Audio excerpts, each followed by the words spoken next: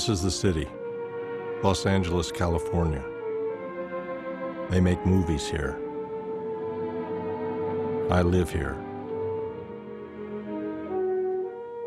Sometimes I think that gives me the right to criticize the way movies depict my city. I know it's not easy.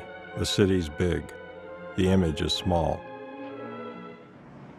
Movies are vertical, at least when they're projected on a screen. The city is horizontal, except for what we call downtown. Maybe that's why the movies love downtown more than we do. If it isn't the site of the action, they try to stick its high-rise towers in the back of the shot.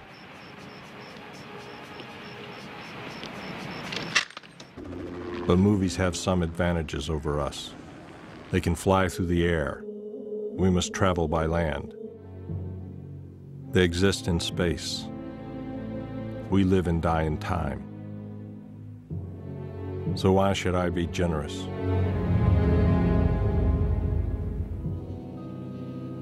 Of course, I know movies aren't about places. They're about stories. If we notice the location, we are not really watching the movie. It's what's up front that counts. Movies bury their traces, choosing for us what to watch, then moving on to something else. They do the work of our voluntary attention, and so we must suppress that faculty as we watch. Our involuntary attention must come to the fore. But what if we watch with our voluntary attention instead of letting the movies direct us? If we can appreciate documentaries for their dramatic qualities, perhaps we can appreciate fiction films for their documentary revelations.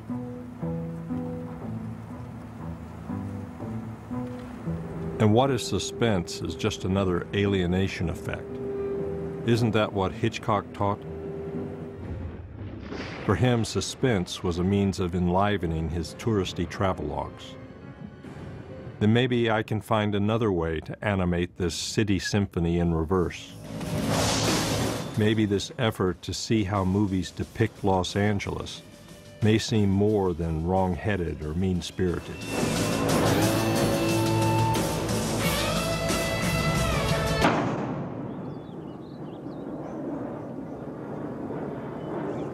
Los Angeles, it is said, is the most photographed city in the world. If you walk around enough, you'll start to notice the mysterious temporary signs that direct crew members to a movie location.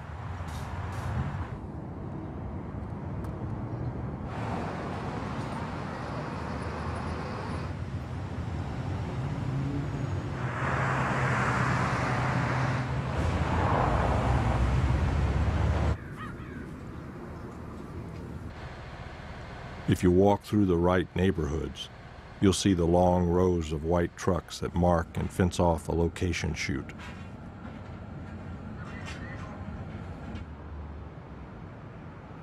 Los Angeles is where the relation between reality and representation gets muddled. Their film is about the killing of a strip club mogul. Six years earlier, the producer and the star had conspired to murder the real owner of the strip club where the film is set and take over his empire.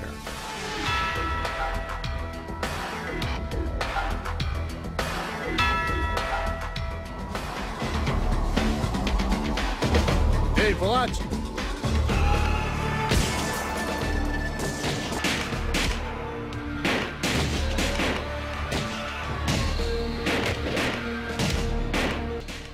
Strip clubs made them rich, but their movie flopped. A real movie shoot can create a better public spectacle than the fake movie studio tours.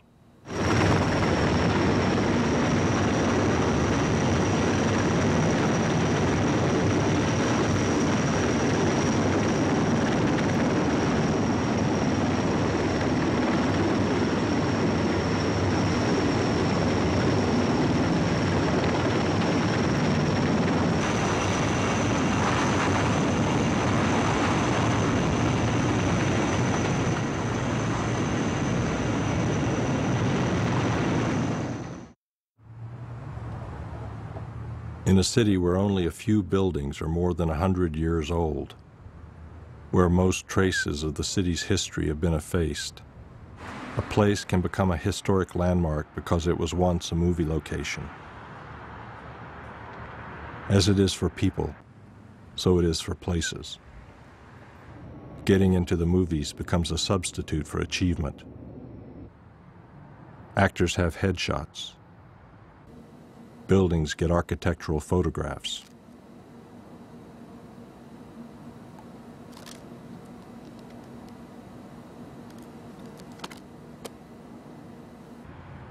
Plaques and signs mark the sites of former movie studios.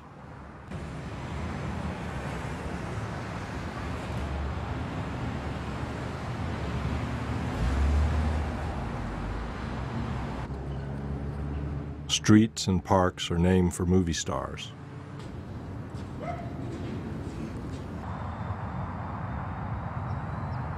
Even movie writers.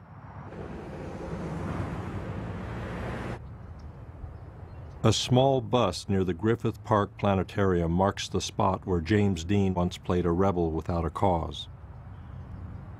The inscription claims Dean wasn't really a rebel. Those were only roles he played. But wasn't he more of a rebel in life than in the movies? Cow! Where he always played a milquetoast Oedipus? Trying not to murder, but to please an imperfect father who was either too stern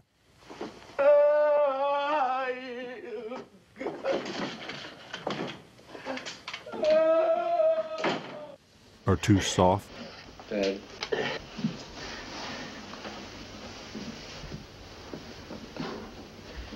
Stan, don't. I mean, you should. Don't. What are you. A narrow public stairway between Vendome Street and Descanso Drive in Silver Lake has been named the Music Box Steps. After the classic Laurel and Hardy short filmed there in 1932.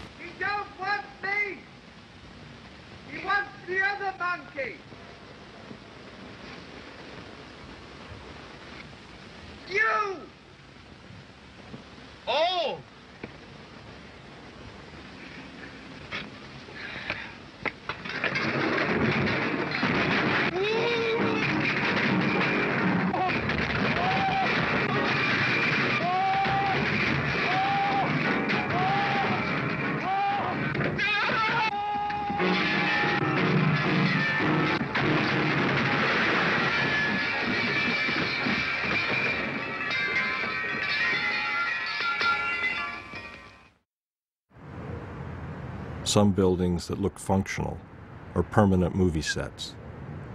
A McDonald's in City of Industry is never open to the public. Here actors are paid so we can see them smile as they ingest their Big Macs. A roadhouse at the corner of Avenue Q and 145th Street in Palmdale has never served a regular patron, but it appears prominently in Swordfish and Brother.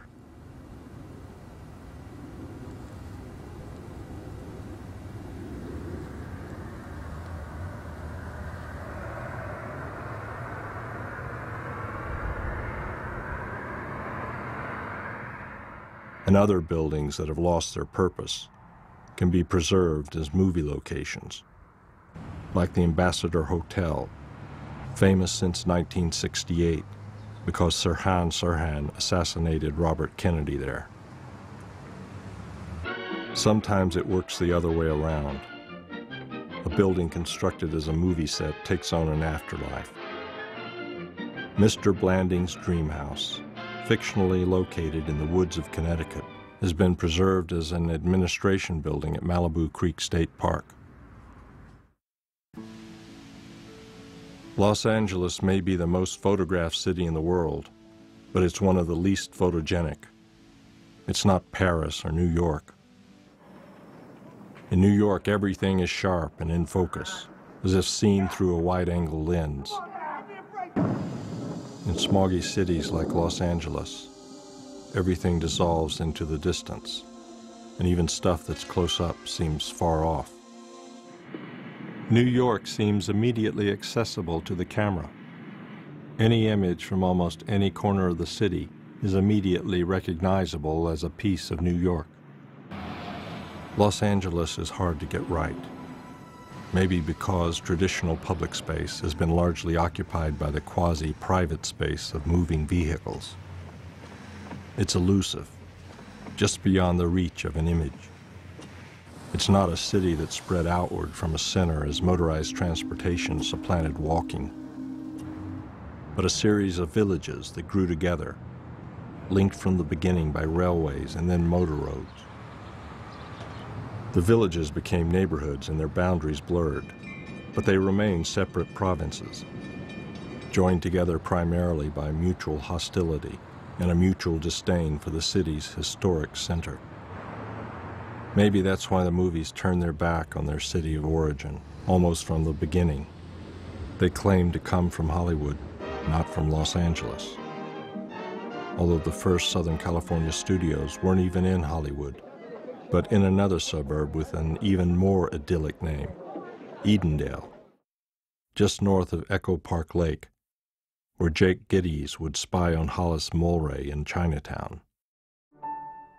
Mack Sennett had his studio there, and when the lake was drained in 1913, he could improvise a movie plot around it.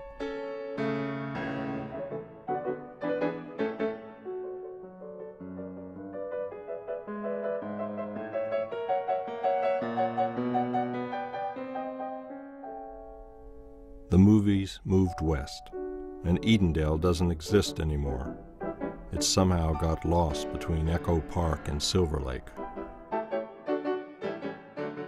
The movies claimed to come from Hollywood, even though there were more movie studios in Culver City, one of the small independent municipalities tucked into the west side of Los Angeles. In the golden age of comedy, when an urban setting was required, it was usually Culver City. But Culver City was the heart of Screenland, only in the eyes of its civic fathers. The greater renown of Hollywood so frustrated them that they once proposed appropriating the name for themselves. Culver City would have been renamed Hollywood. Why not? After all, Hollywood is not just a place, it's also a metonym for the motion picture industry. But if you're like me and you identify more with the city of Los Angeles than with the movie industry, it's hard not to resent the idea of Hollywood, the idea of the movies as standing apart from and above the city. People blame all sorts of things on the movies. For me, it's their betrayal of their native city. Maybe I'm wrong, but I blame them for the custom of abbreviating the city's name to L.A. Gotta find somebody in L.A. Maybe it's not even in L.A. How far did you say we're going? Los Angeles? L.A.? L.A.'s good enough for me, mister. You guys can't do this. This is America. this isn't America, Jack. This is L.A. L.A. was the gang capital of America. Hello, L.A. Hello, Pliskin. Welcome to L.A. The acronym functions here as a slightly derisive diminutive. Now it's become second nature, even to people who live here.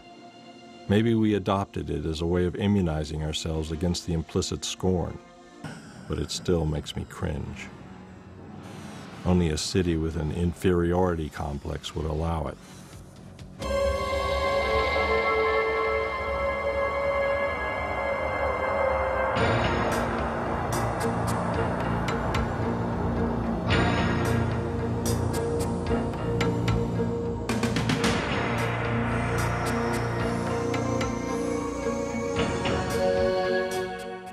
Say L.A., they often mean show business. I'm an actress. Hmm. Did you ever see Massacre in Blood City? That's another presumption of the movies that everyone in Los Angeles is part of their industry or wants to be. Actually, only one in 40 residents of Los Angeles County works in the entertainment industry, but the rest of us simply don't exist. We might wonder if the movies have ever really depicted Los Angeles.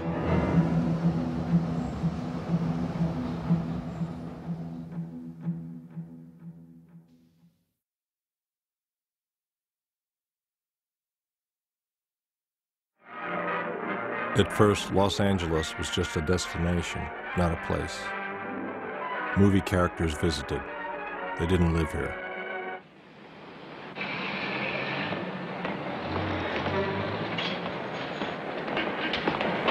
Are you sure we're still in the United States? I think Los Angeles is.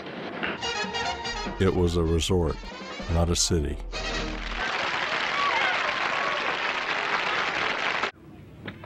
When its streets and buildings appeared in movies, they were just anonymous backdrops.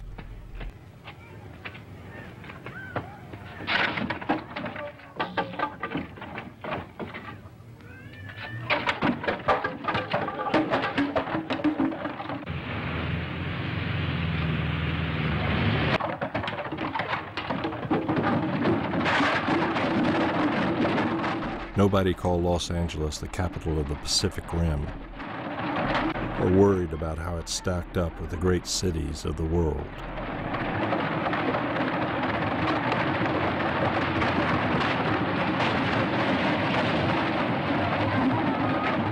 The varied terrain and eclectic architecture allowed Los Angeles and its environs to play almost any place.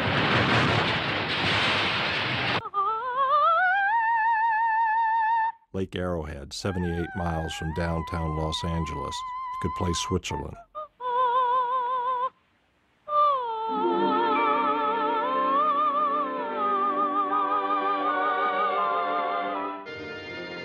And Calabasas in the San Fernando Valley could play the Valley of Ling in China after MGM excavated some rice paddies.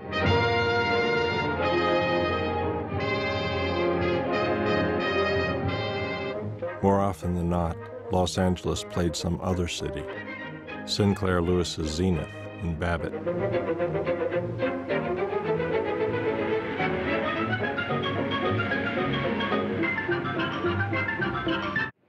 Chicago and the Public Enemy. Say, you can let me off here. I'm going to meet my friends on the corner. Jimmy Cagney drops off Jean Harlow in front of the new Bullock's Wilshire department store. Our Art Deco Cathedral of Commerce had opened in September 1929, 17 months before The Public Enemy was filmed. It was a new kind of dry goods emporium, located in the suburbs for the motor car trade. Presumably, only locals would recognize this Los Angeles landmark. But as they drove aimlessly around what is now called the Wilshire Center District, anyone who knows anything about Chicago might find the cityscape strangely rural. From Chicago? Not exactly. I came from Texas. In The Street with No Name, Los Angeles played Center City.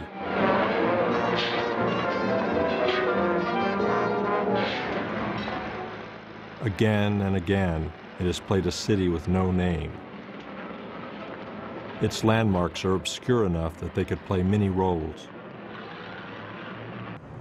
The most venerable of these landmarks is the Bradbury Building at 3rd and Broadway, dating from 1893. It was discovered by architectural historian Esther McCoy in 1953. She claimed architect George Herbert Wyman had been inspired by Edward Bellamy's utopian vision of a socialist architecture in the year 2000. A vast hall full of light, received not alone from the windows on all sides, but from the dome. But the movies discovered the Bradbury building before the architectural historians did. The earliest appearance I know came in 1943. In China Girl, it played the Hotel Royale in Mandalay, Burma.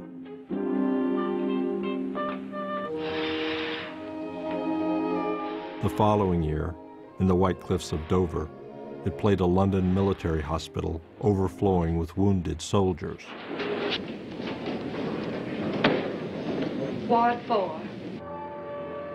Its first indelible role was in DOA.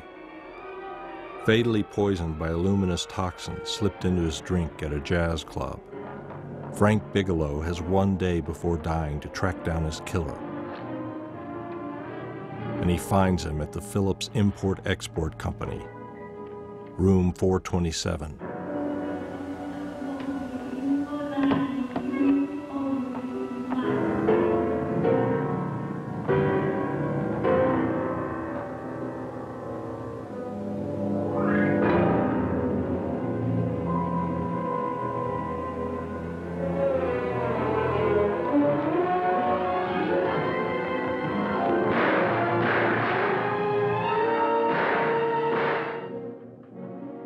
Bradbury building was again the site of a bizarre revenge killing an indestructible man. This time, an executed convict, brought back to life and given superhuman strength by a scientific experiment gone awry, hunts the three sleazy hoodlums who set him up to take the fall.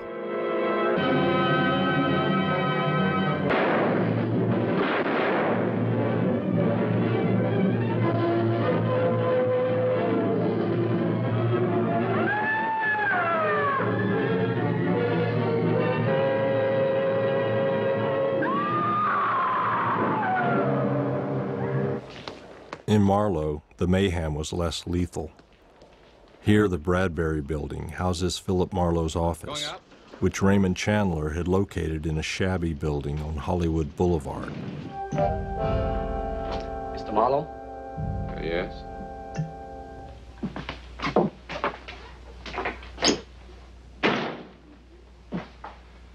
What can I do for you?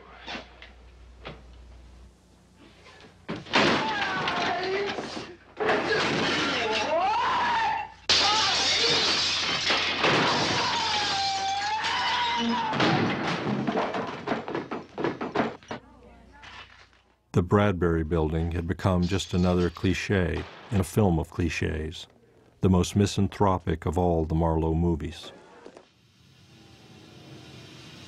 Screenwriter Hampton Fancher and director Ridley Scott disagreed about employing the Bradbury building as a location for Blade Runner. Fancher argued it was too familiar, overdone. Scott responded, Not the way I'll do it. He gave the building a new, more elaborate facade through matte work, and he turned the interior atrium into a picturesque ruin. After a long overdue restoration in the early 90s, it went upscale. In Murder in the First, a period movie set in 1941, it housed the offices of a prosperous San Francisco lawyer.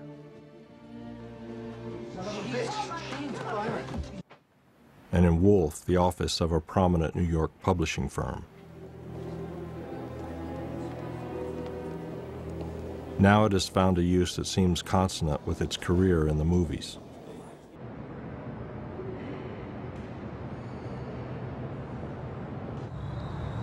Another Blade Runner location, Frank Lloyd Wright's Ennis House, has had an even longer movie career the most massive of the Mayan revival houses Wright designed around Los Angeles in the 20s. It first appeared in the movies in 1933 as the home of a female auto tycoon. Good afternoon, miss. The interiors are studio sets, typical Warner Brothers Art Deco, as are some of the exteriors. Wright had left out the swimming pool. William Castle rediscovered it in 1958, just before Wright's death.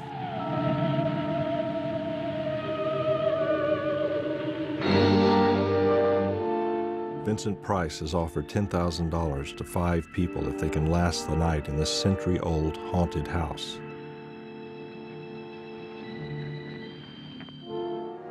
Once again, the interiors are unrelated to Wright's architecture.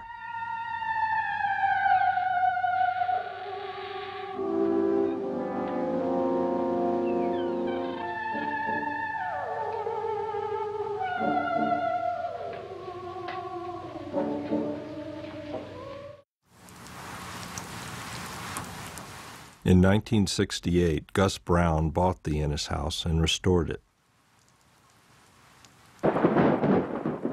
To help pay the maintenance and preservation costs, he began promoting it as a location site, not only for movies and TV shows, but also for infomercials and music videos.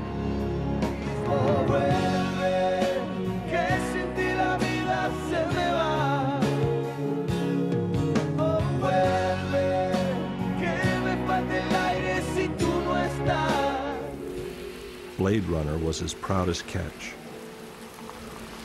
But my favorite is A Passion to Kill, a low-budget neo-noir film. It plays a psychiatric clinic where a patient can sometimes seduce her therapist.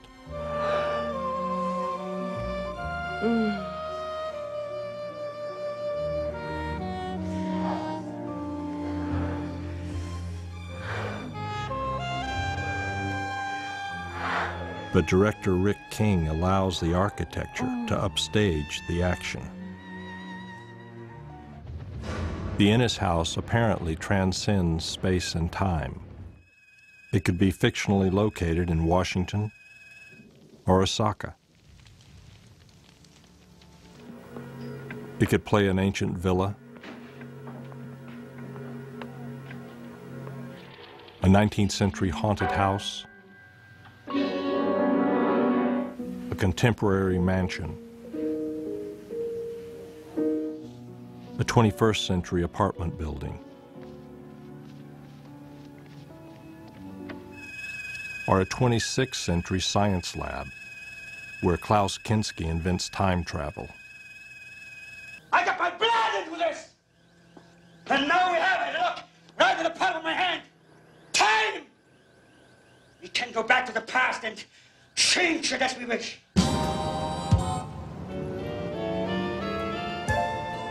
The Union Station is a more recognizable landmark. As the major gateway to Los Angeles in the 40s and 50s, it has been a location for many movies us, and a favorite site for movie kidnappings. Uh, ma'am, I can take... Listen, ma'am. You stole that. You know what this is? What's the game? No game, just walk. Why? Why? Because if you don't, I'll blow your fucking heart out.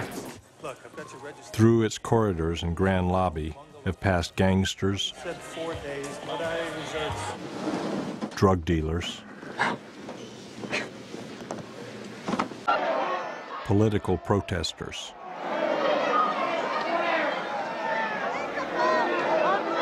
Free speech is all we're talking about. Munchkins. even an alien in heat disguised as a railroad conductor. Yet Union Station hasn't always played itself. During its fallow days in the early 80s, before its revival as an interurban railway hub, it was a police station in Blade Runner. In the 1950 movie Union Station, the only film in which it has a starring role, it is not located in Los Angeles. Actually, it's never located anywhere precisely. The station is only a commuter ride from West Hampton, which would place it in New York City. Yet one of the villains takes an elevated train out of the station, suggesting Chicago. He's headed for the elevated train. The police chase him into the stockyards. This must be Chicago. But what about those palm trees?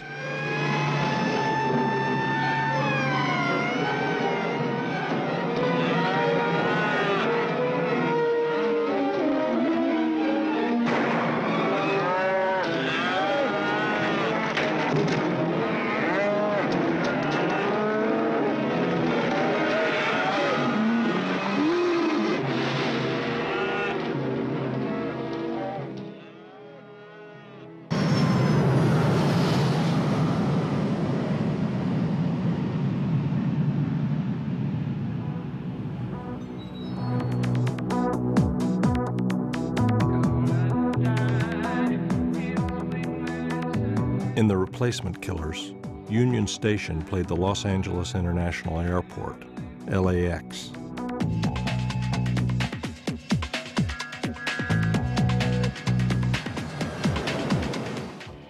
Our airport is certainly replaceable.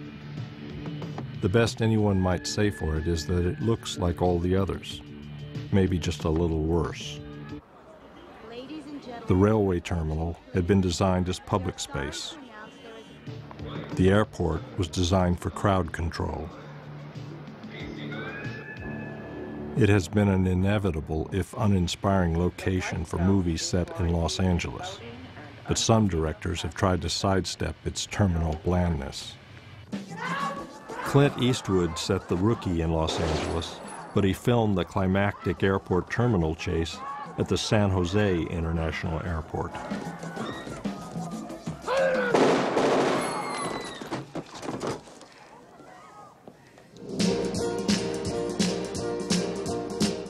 Why Do Fools Fall in Love, the theme restaurant in the middle of the airport parking lot, originally intended as a control tower, portrayed a passenger terminal.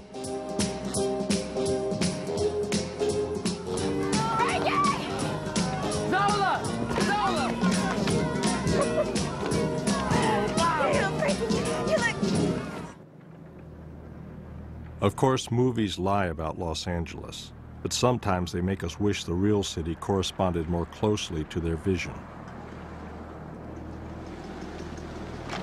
In Miracle Mile, Johnny's coffee shop at Wilshire and Fairfax has a fantastic revolving sign, and it's open all night. At the time the film was made, Johnny's had no revolving sign, and it closed before dinner time. Now it's closed indefinitely. Other lies are simply benign. Government agencies sometimes get fictional names. Dr. Stevens, meet Special Agent Pomeroy of the National Bureau of Investigation. NBI? You don't look like an NBI man to me, Mr. Pomeroy. Well, uh, you don't look like a doctor, doctor. People have fake addresses. Stark. Jim Stark. Here it is. 1753 Angelo. Or fake phone numbers. Lexington 05549. What's the number? 555-7605. 555-4487. 555-6969. Bye for now, sweetheart.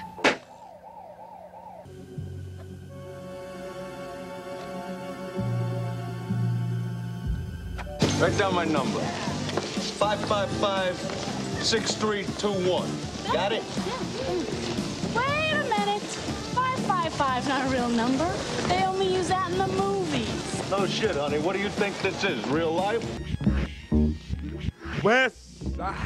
Other lies are annoying to someone who knows Los Angeles only from movies. It might appear that everyone who has a job lives in the hills or at the beach.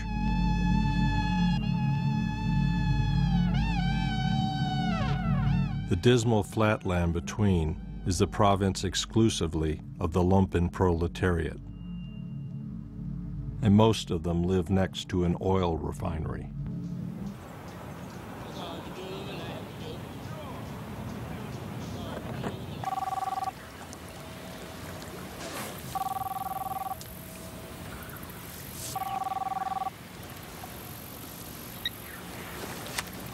Yeah. And in death, they will rest next to an oil derrick.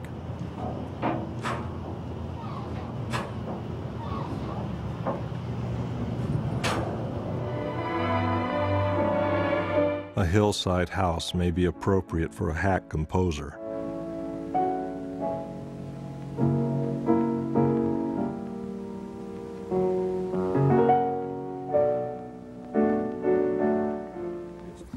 Drug dealer on the way up. I like this suit. Where'd you get this furniture? I love nice. It's, uh, Nice Italian lady picked this up. Oh, it's so nice.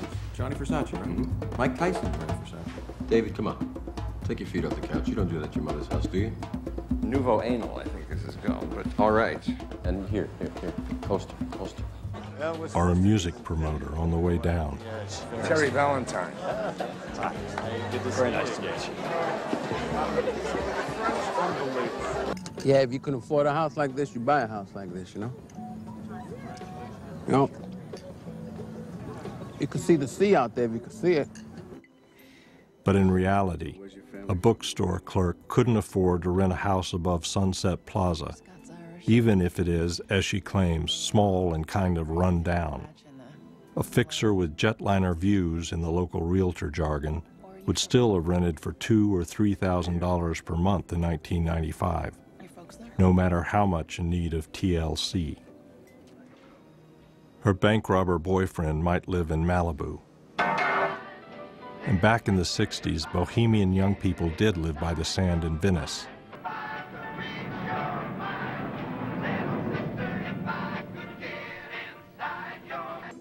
We may regard Cobra's Venice loft as a relic of the golden 80s, when product placement superseded scriptwriting and movie cops abandoned the suburbs to become urban pioneers.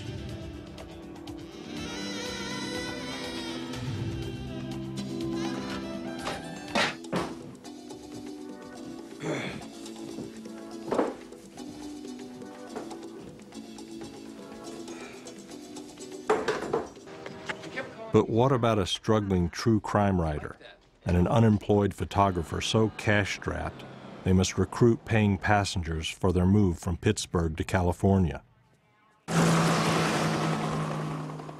Yet when they arrive in Los Angeles, they immediately take up residence in a spacious Malibu beach cottage. And I don't like geographic license. It's hard to make a theoretical argument against it. After all, in a fiction film, a real space becomes fictional. Why shouldn't a car chase jump from the Venice canals to the Los Angeles harbor 30 miles away?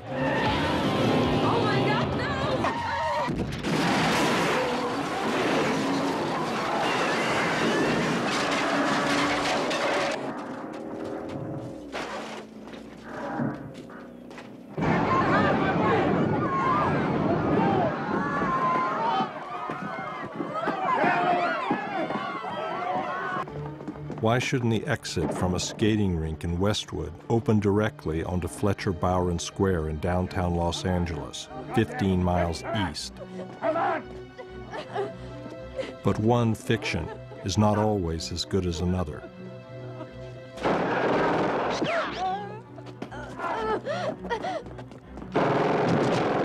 And like dramatic license, geographic license is usually an alibi for laziness. Silly geography makes for silly movies. I warned you! I tell you!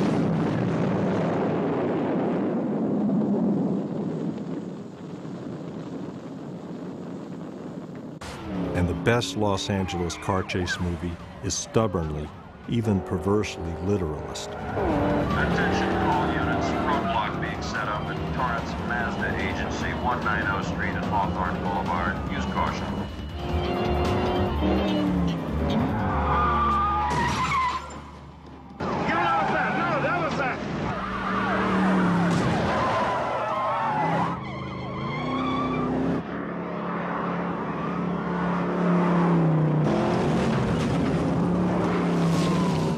Director Toby Halicki realized Dziga Vertov's dream, an anti-humanist cinema of bodies and machines in motion.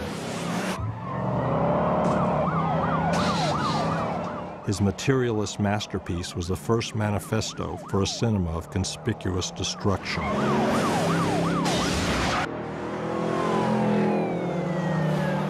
It was also the first Southern California movie centered in the South Bay, the unglamorous southern coastal region of the Los Angeles basin, stretching from Long Beach to El Segundo, that would later become the domain of William Friedkin, Quentin Tarantino, and Michael Mann, who had accidentally renamed the most familiar icon of South Bay movies, the Vincent Thomas Bridge. St. Vincent Thomas Bridge, that's escape route number one. Vincent Thomas was San Pedro's representative in the state assembly for many years. but he hasn't been canonized yet, not even in Pedro. Accidents happen, but some lies are malignant. They cheapen or trivialize the real city. One of the glories of Los Angeles is its modernist residential architecture. But Hollywood movies have almost systematically denigrated this heritage by casting many of these houses as the residences of movie villains. It begins with The Damned Don't Cry in 1950. Frank Sinatra's Palm Springs Retreat, designed by Stewart Williams, plays the home of a local gangster boss. Then in 1955, a band of psycho kidnappers led by John Cassavetes holds up in a prototypically mid-century modern house in the Hollywood Hills.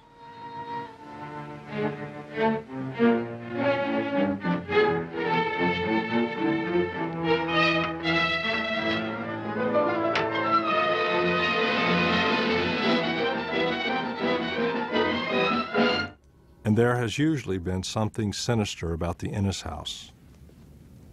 Its most frequent role is the mansion of some gangster chieftain, often a representative of the Yellow Peril. There's been a problem. The most celebrated episode in Hollywood's war against modern architecture is LA Confidential. Richard Neutra's Lovell House, the first great manifestation of the international style in Southern California, plays the home of Pierce Patchett, pornographer, pimp, prince of the Shadow City, where whatever you desire is for sale. Actually, director Curtis Hanson greatly admires the Lovell House. He even gives it a special credit at the end of the film, according it the honorific title favored by its original owner, the Lovell Health House. Is it just a convention then? The architectural trophy house is the modern equivalent of the black hat or the mustache? It's nothing to take seriously. Well, the architecture critic of the Los Angeles Times took it seriously. He cited LA Confidential as some kind of proof that the utopian aspirations of modernist architecture were bogus. He wrote, The house's slick, meticulous form seemed the perfect frame for that kind of power. Neutra's glass walls open up to expose the dark side of our lives. They suggest the erotic, the broken, the psychologically impure. So now we know. As the movies have shown, these pure modern machines for better living were dens of vice. In fact, this fiction is contradicted not only by the original spirit of the Lovell House, but by its entire history. It was designed as a kind of manifesto for natural living, and it became a center for radical left-wing political meetings in the 30s. Wow, man, you got everything. There is one modernist architect Hollywood lets off lightly, Pierre Koenig. Perhaps it's because he had a knack for turning steel and glass cubes into Hollywood Regency-style mini-mansions. His Stahl house is an icon of modern architecture, and lately, a movie star. In The Marrying Man, it plays the Hollywood pied-à-terre of a multimillionaire playboy, although the film is set 12 years before it was built. In The First Power, it plays the home of a police psychic. You know, it looks like the psychic business pays pretty well. Forget it. You wouldn't look good in a turban. Shh, I don't know.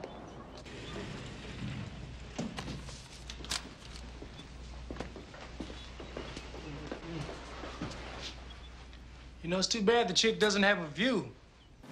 And in Why Do Fools Fall in Love, it is the West Coast base of Zola Taylor, the female vocalist in The Platters.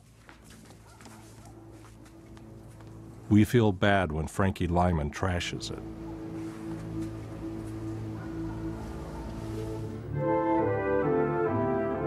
On the other hand, the architect Hollywood most loves to hate is John Lautner. In Twilight, a Lautner house overlooking the San Fernando Valley is a crooked cop's reward for his corruption. It's a nice place you got here. Sure beats Los Feliz. You're up above the smog. It's quite a pad you got here, man.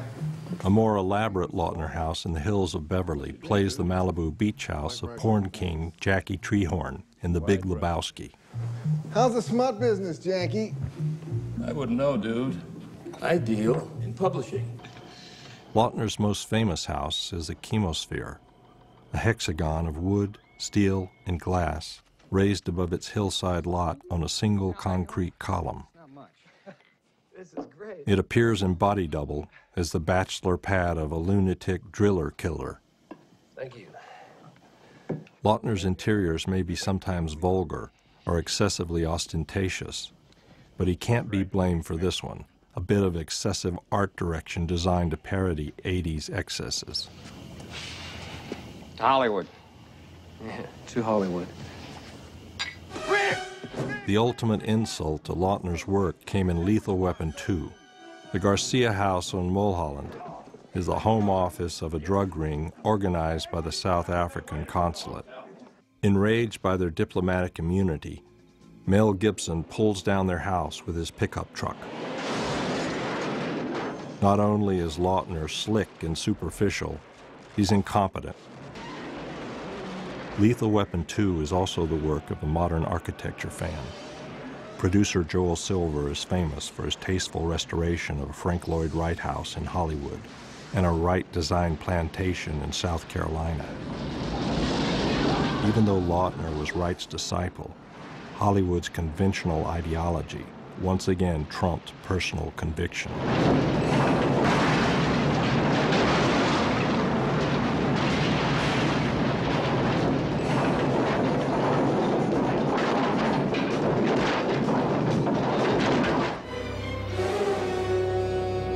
Silver has also trashed postmodernist architecture. The 34-story Fox Plaza in Century City co-starred with Bruce Willis in Die Hard.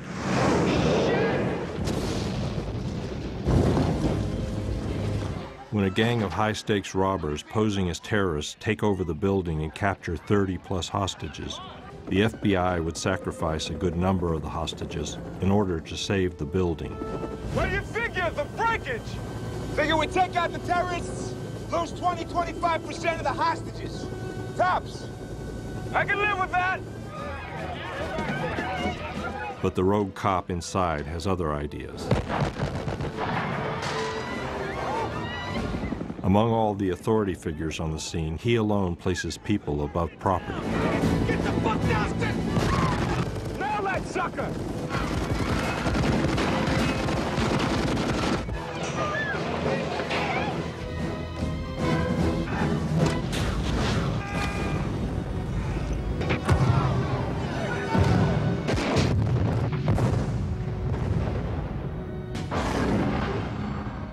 Fox Plaza played the Nakatomi Plaza, the Los Angeles branch office of a Japanese multinational.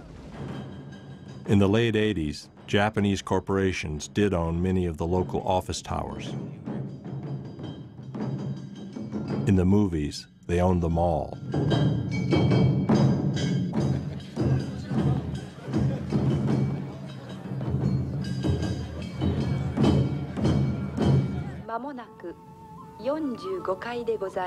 Jesus.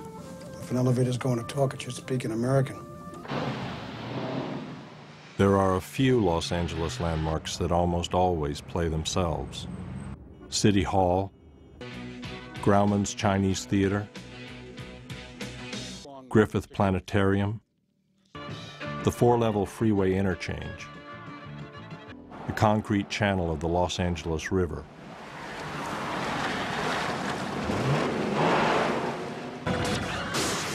the Eastern Columbia building at 8th and Broadway.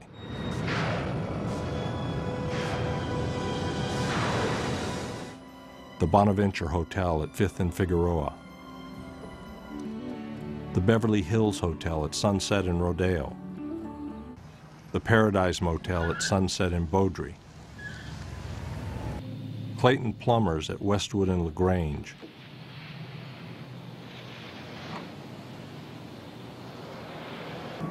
Circus Liquor at Burbank and Vineland. Pink's Hot Dogs at La Brea and Melrose. The Memorial Coliseum in Exposition Park.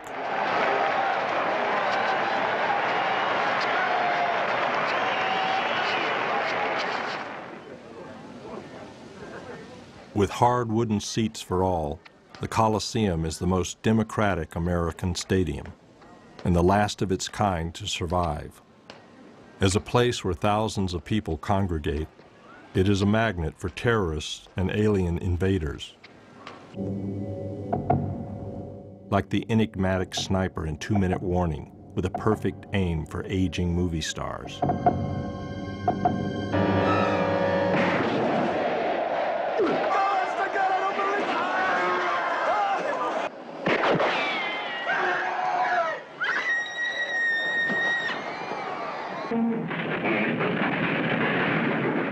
Are the invisible invaders in Edward L. Cahn's 1959 film, who utilize a zombie to commandeer the public address system and deliver one of their laconic ultimatums.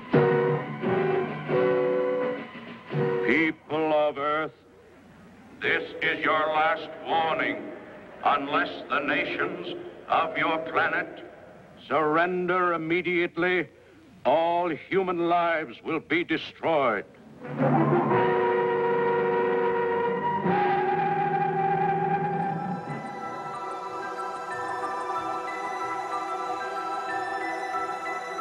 And of course, there's the Hollywood sign. Since it marks quite literally the ascendancy of Hollywood over the rest of Los Angeles, I should despise it, as I despise the Hollywood Walk of Fame, where the stars cost the honorees or their sponsors $15,000, where the Hollywood blacklist still lives. There are stars for the enforcers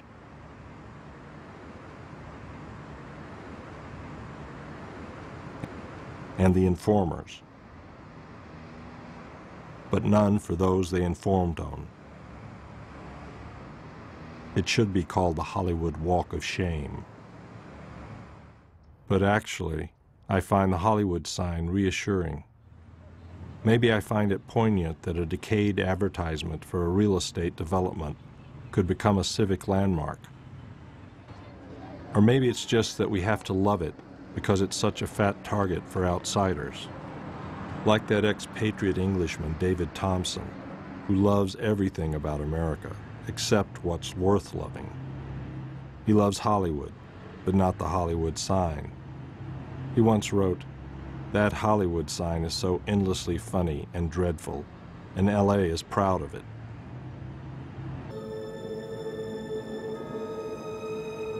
These are the landmarks that are destroyed in disaster movies.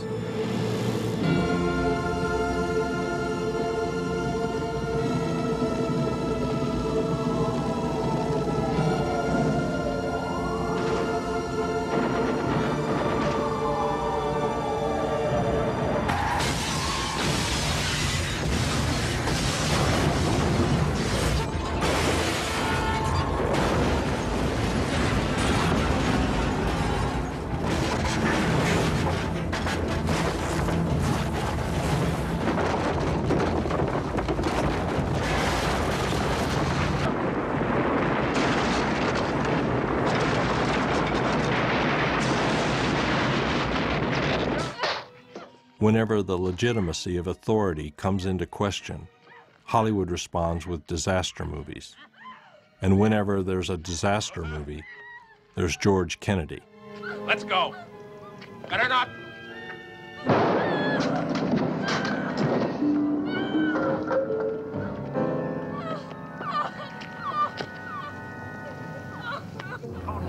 Come on, Rosie, come on. Settle down, will you? Earthquakes bring out the worst in some girls, that's all. Disaster movies remind us how foolish and helpless we really are. and thus demonstrate our need for professionals and experts to save us from ourselves. They define the sources of legitimate authority.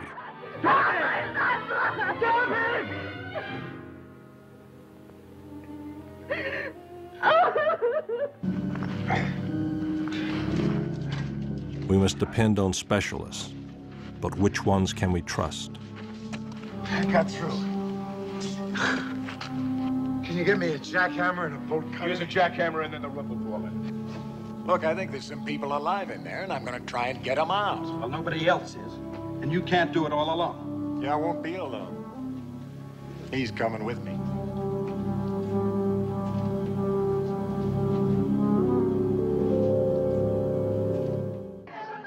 A priest can be useful, We're gonna crash. We're gonna be killed. I know we're all gonna be. but not a politician. Like the mighty fist of God, Armageddon will descend upon the city of Los Angeles, the city of sin, the city of Gomorrah, the city of Sodom, and waters will arise and separate this sinful, sinful city from our country.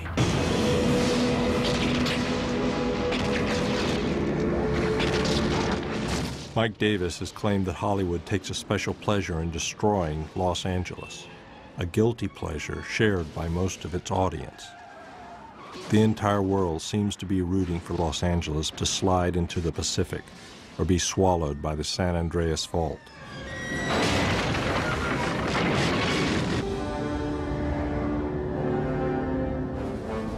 In Independence Day, who could identify with a caricatured mob dancing in idiot ecstasy to greet the extraterrestrials? There's a comic undertone of good riddance when kooks like these are vaporized by the Earth's latest ill mannered guests.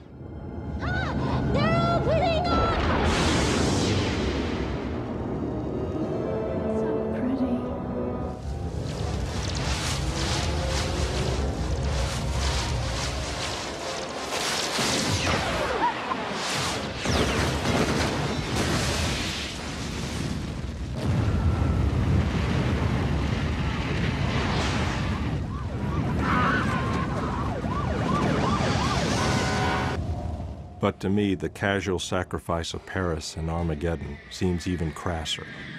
Are the French being singled out for punishment because they admire Jerry Lewis too much? Or because they have resisted Hollywood's cultural imperialism too fervently?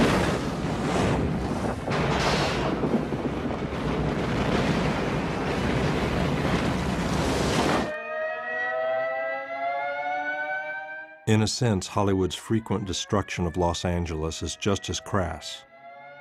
But it's more often a case of economic expediency than of ideology. Hollywood destroys Los Angeles because it's there. Our filmmakers don't really believe the Los Angeles City Hall is a more resonant civic symbol than the Empire State Building, but they are well aware that it's closer.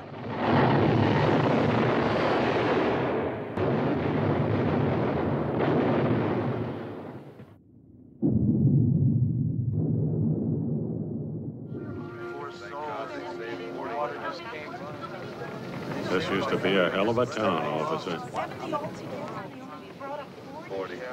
Yeah.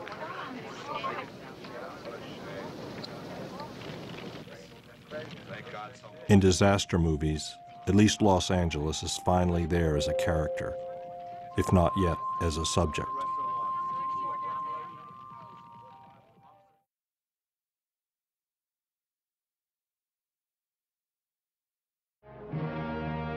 James M. Cain and Raymond Chandler had made Los Angeles a character in their novels.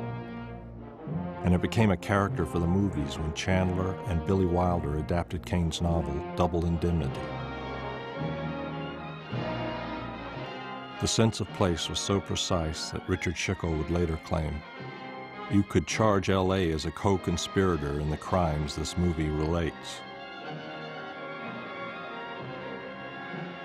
Departing from Cain's text, Chandler and Wilder created a protagonist narrator who has ideas, or at least opinions, about the city around him.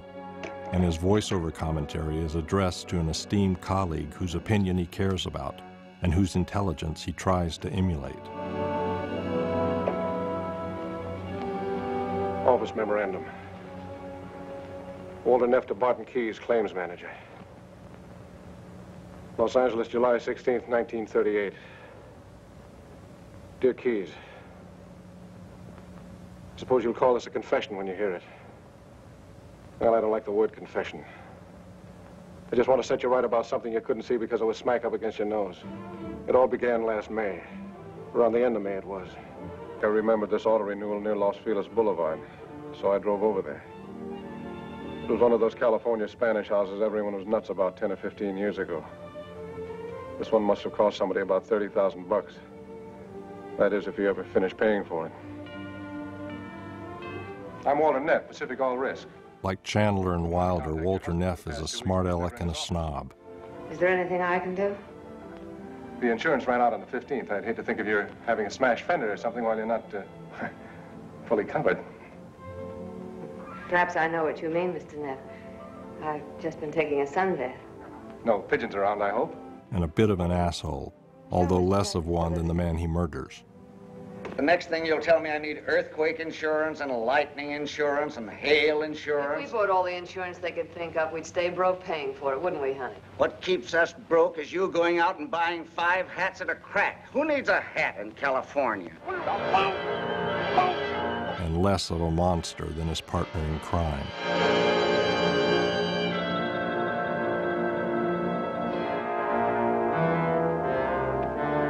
Okay, this has got to be fast.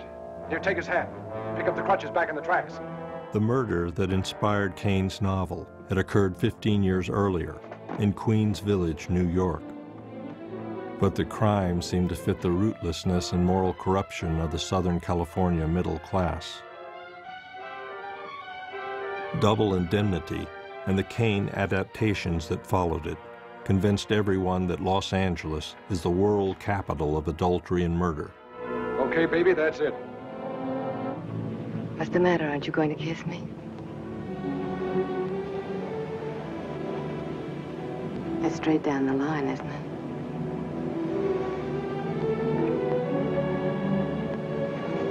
I love you, Walter. I love you, baby.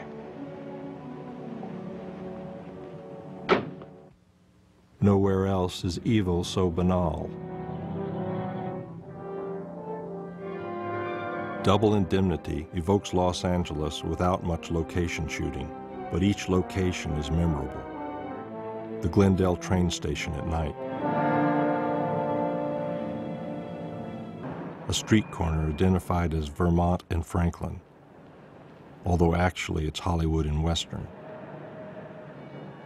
The exterior of Jerry's Market on Melrose.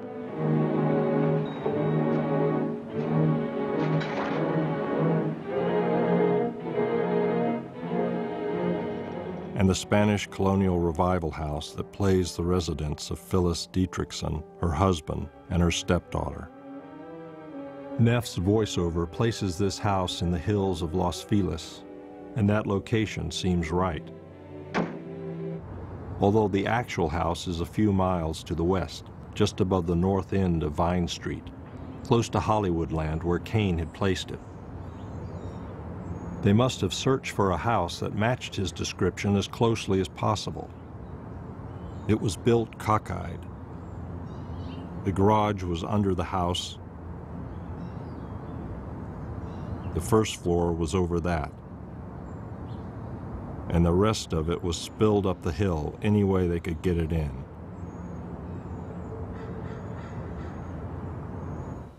Although all the interiors were filmed on studio sets, Wilder stuck close to reality here, taking his inspiration from the dramatic entry hall staircase. He simply moved the living room from the left side of the entry hall to the right side. For Wilder, a consistent modernist, the phony historicism of the architecture and interior decor reflects the dishonesty of the lives contained within. But tastes have changed. Now we all love those red tile roofs and that wrought iron grillwork and would do anything to preserve them. So just as modernist architecture connotes epicene villainy, the Spanish colonial revival suggests petty bourgeois good taste.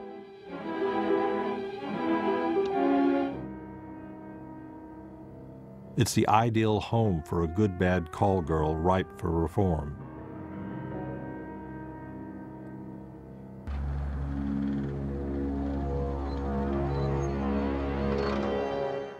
Or a vigilante hero out for revenge. This is the place. Genteel respectability is the message in Mildred Pierce, Hollywood's second version of a James M. Cain novel, in which the suburbs of Los Angeles have a bit part. We lived on Corvallis Street where all the houses looked alike. Ours was number 1143. It's an odd observation, since the houses we see don't all look alike, but a typical criticism of Los Angeles. If you don't like one thing, complain about its opposite as well. The architecture is too eclectic, but it's also too uniform.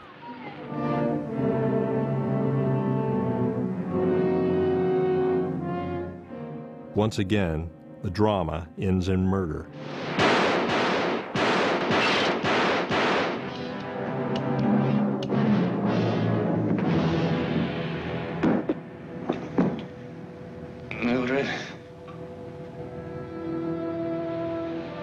And so it will in The Postman Always Rings Twice, the last novel in Cain's Southern California trilogy. Hollywood filmed it twice, in 1946 and again in 1981.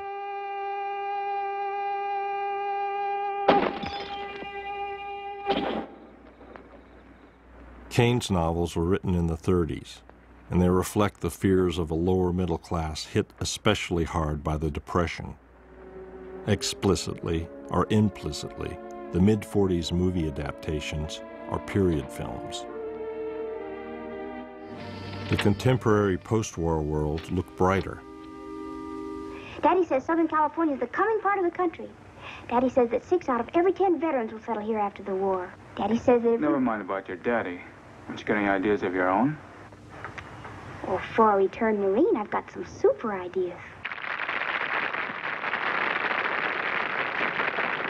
A new suburbia was created for the vets back from the war. They could look forward to a good job in the booming aircraft industry. A detached house for every family. A trash incinerator in every backyard. And plenty of bathrooms without toilets, at least for movie characters.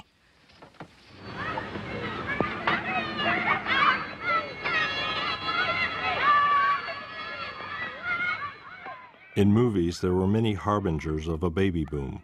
Yet these excessively cute kids would become, in just a few years, the excessively troubled teenagers of Rebel Without a Cause, the first teen noir. That's a fine way to behave. Well, you know who he takes after. You're tearing me apart! Director Nicholas Ray photographed real locations around Los Angeles to look like sets in a studio musical. Musicals establish alternate worlds, and that is precisely Ray's achievement. The teenagers live in a world that is parallel to the adult world of normality and stability, in a world they have created for themselves that is almost a parody of film noir. Their world is more dangerous than that of their parents, and more attractive. Hit your lights! It is also privileged in the film. We see the adult world through their eyes, but we have no other perspective on theirs. The teenagers are able to create their own separate world only because of their easy access to automobiles. They were the first teenagers with cars, at least in the movies. And maybe that's why a Rebel Without a Cause seems so prophetic and so evocative of Los Angeles.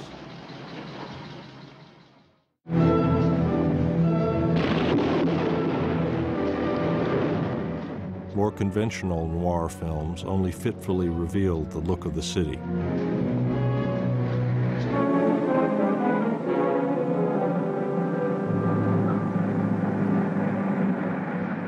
Those streets dark with something more than night were still more often than not located on studio back lots.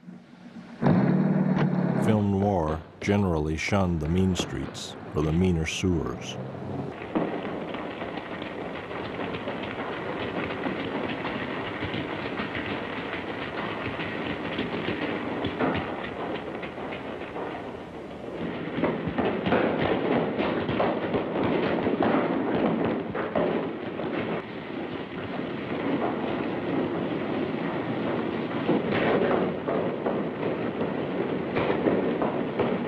The appear in Kiss Me Deadly, although this urban road movie didn't announce itself as a portrait of Los Angeles.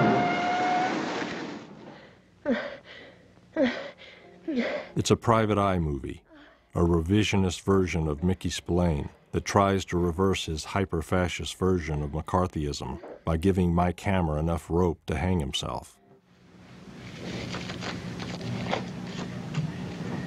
My dear sir. Now tell me about the key. Just a minute, sir.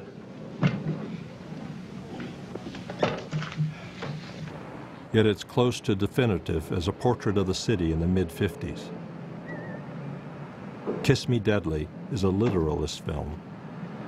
Mike Hammer has a real address 10401 Wilshire Boulevard. And when he pulls away from his apartment building in his new Corvette, what we see is what was really there.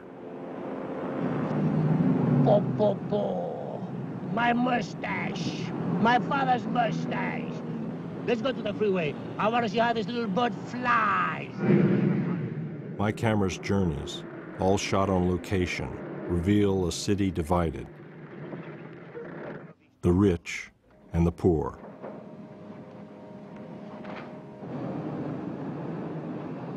The old and the new.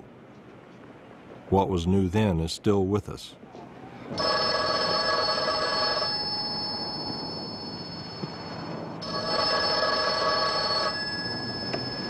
This is Crestview 54124.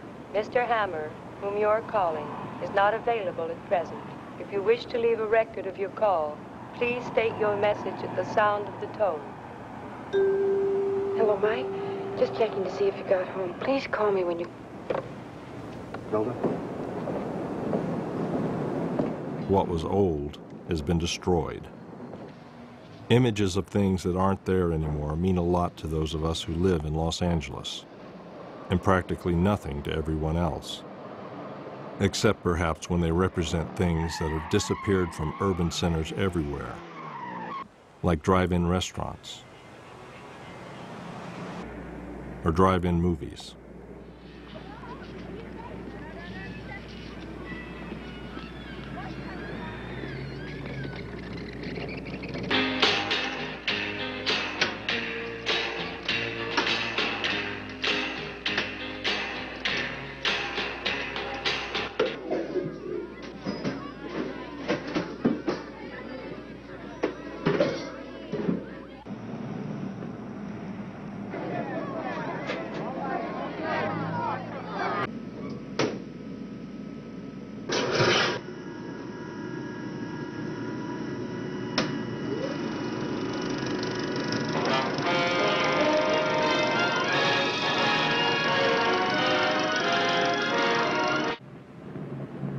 There are certain types of buildings that aren't designed to last. They must be rebuilt every five or ten years so they can adapt to changing patterns of consumption.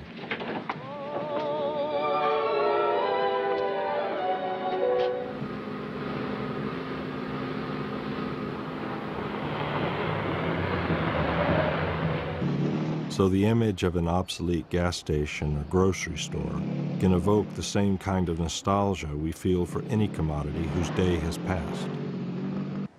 Old movies allow us to rediscover these icons, even to construct a documentary history of their evolution. Tell this character. We want to go Can I help you, sir? Oh, yeah. Give me five gallons of regular. Regular? Hey, I thought you said we were going to go dancing. What are you changing? Come here, hon. Come here, I want to talk to you. Uh, will you check under the hood too, please? Oh, sure.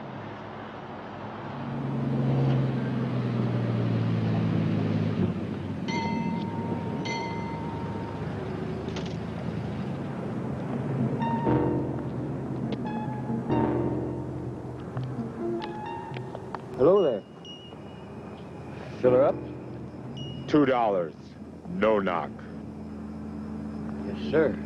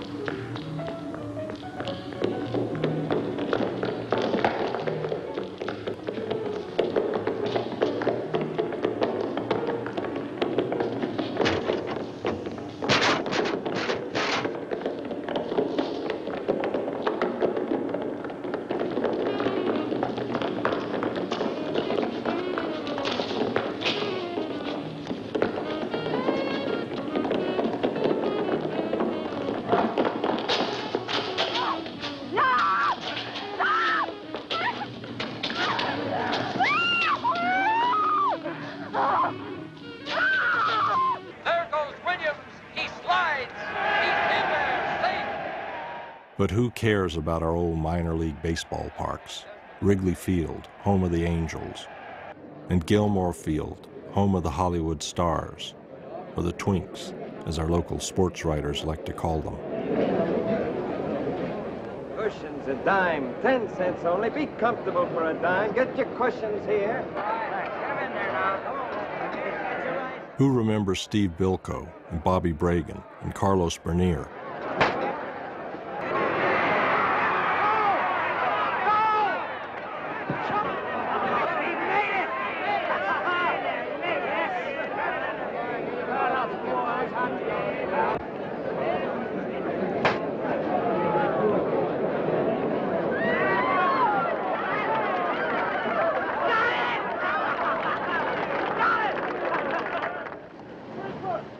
Crowd scenes in the Atomic City feature real baseball fans, not professional extras, who were then still cast according to the requirements of a production code that prohibited any scene showing the social intermingling of white and colored people. They suggest that Los Angeles may have been more comfortably integrated in 1952 than it is today. And who mourns the Pan Pacific Auditorium, our streamlined modern palace, once the city's most famous landmark, where the college basketball teams played their games, where Robert Frank photographed the Motorama in 1956. It played a dog racing track in Johnny Eager and an arena for ice skating shows in Suspense. In 1980, after the Pan Pacific had been abandoned, Lawrence Gordon produced an ill-fated fantasy of what the preservationists call adaptive reuse. A muse inspires a young artist to convince an aging clarinetist that it is the ideal locale for the nightclub he wants to open. You really think this could work out for Danny? I think this place could be anything you want it to be. Yeah. What, what the hell to call it? In Xanadu did Kubla Khan a stately pleasure dome decree. Alas, their dream turns out to be a roller disco. The film failed, and what was left of the Pan Pacific burned down nine years later. It deserved better, both in the movies and in reality.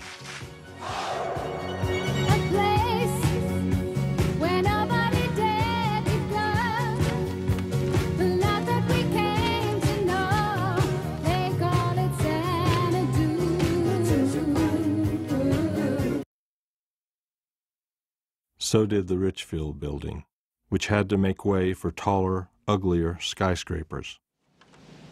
There are many photographs, but only a few movie shots. Thanks to Antonioni. What about Ships Westwood, a coffee shop that was open all night? It was an institution, but it didn't stand a chance when someone realized you could put a skyscraper in the same space.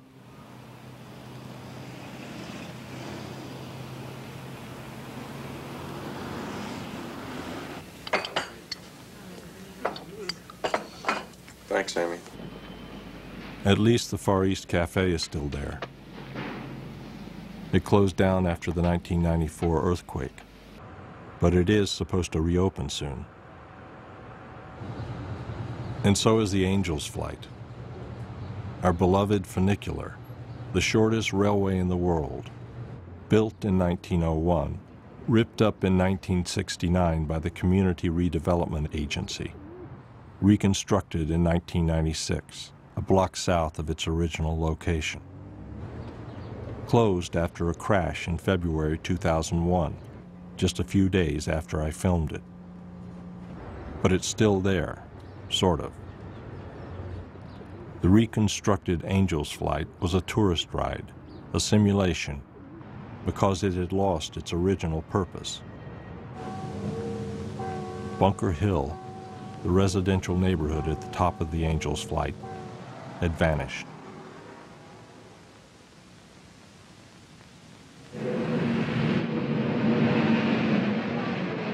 The movies loved Bunker Hill. The lords of the city hated it. Rents were low, so it put the wrong kind of people too close to downtown. Bunker Hill became a target for slum clearance or urban renewal.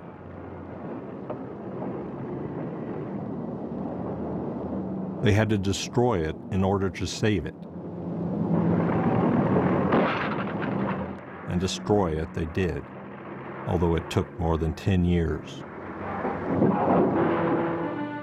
Bunker Hill was the most photographed district in Los Angeles. So the movies unwittingly documented its destruction and depopulation. In the late 40s, it could represent a solid working class neighborhood.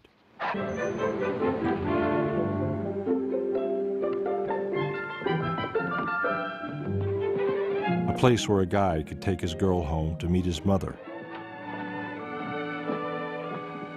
Ah, buonasera, mamma mia. Buonasera. Paper, paper lady. Morning examiner. It was film noir territory, but it was a refuge from the meaner streets of the city. By the mid 50s, it had become a neighborhood of rooming houses where a man who knows too much might hole up or hide out. Hollywood had come to accept Raymond Chandler's vision of Bunker Hill as Old Town, Wap Town, Crooktown, Arty Town, where you could find anything from crooks on the lam to ladies of anybody's evening to county relief clients brawling with haggard landladies in grand old houses with scrolled porches. I think you had a heart attack walking up here. Who invited you? The best Bunker Hill movie is The Exiles, an independent, low-budget film by Kent Mackenzie about Indians from Arizona exiled in Los Angeles. Shot in 1958, completed in 1961. It reveals the city as a place where reality is opaque, where different social orders coexist in the same space without touching each other.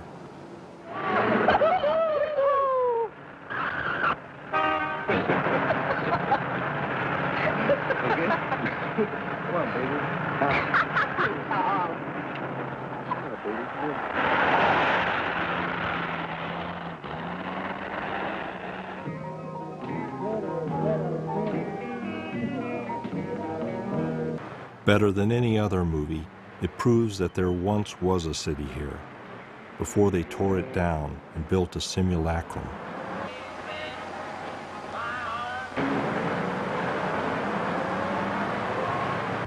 The end of Bunker Hill is visible in The Omega Man. By 1971, it made a good location for a post-apocalyptic fantasy. Charlton Heston plays an urban survivalist in a cityscape depopulated by biological warfare. He has learned to become totally self-reliant. If he wants to see a movie, he has to project it himself. This is really beautiful, right? If we can't all live together and be happy, if you have to be afraid to walk out in the street, if you have to be afraid afraid to smile at somebody, right? What what what kind of a way is that to go through this life? All his movie shows are matinees, because at night he must fight off a gang of Luddite hippie vampires, his only companions in the city.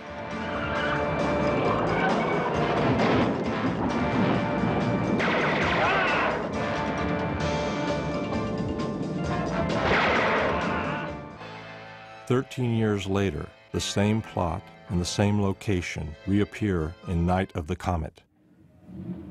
In the wake of a disaster, apparently brought on by comet dust, a small band of human survivors again battle zombie-like mutants.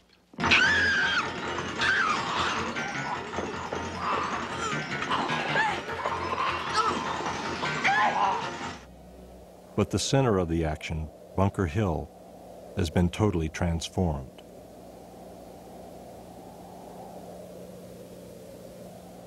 The new Bunker Hill looks like a simulated city, and it played one in virtuosity.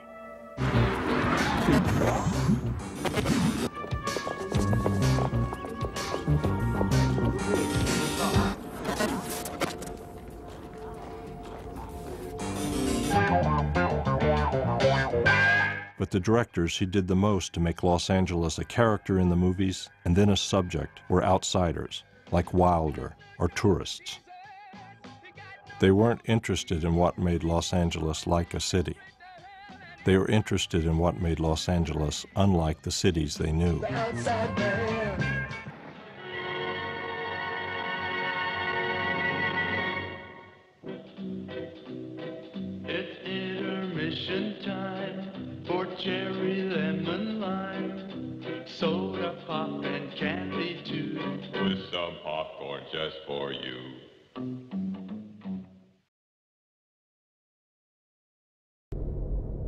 Just as there are highbrows and lowbrows, there are high tourists and low tourists.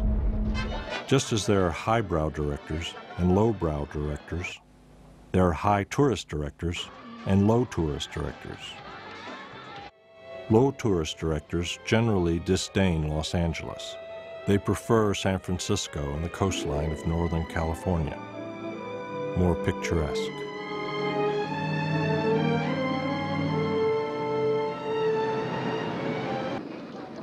Greatest low tourist director is, of course, Alfred Hitchcock. And he set four memorable films around the San Francisco Bay Area.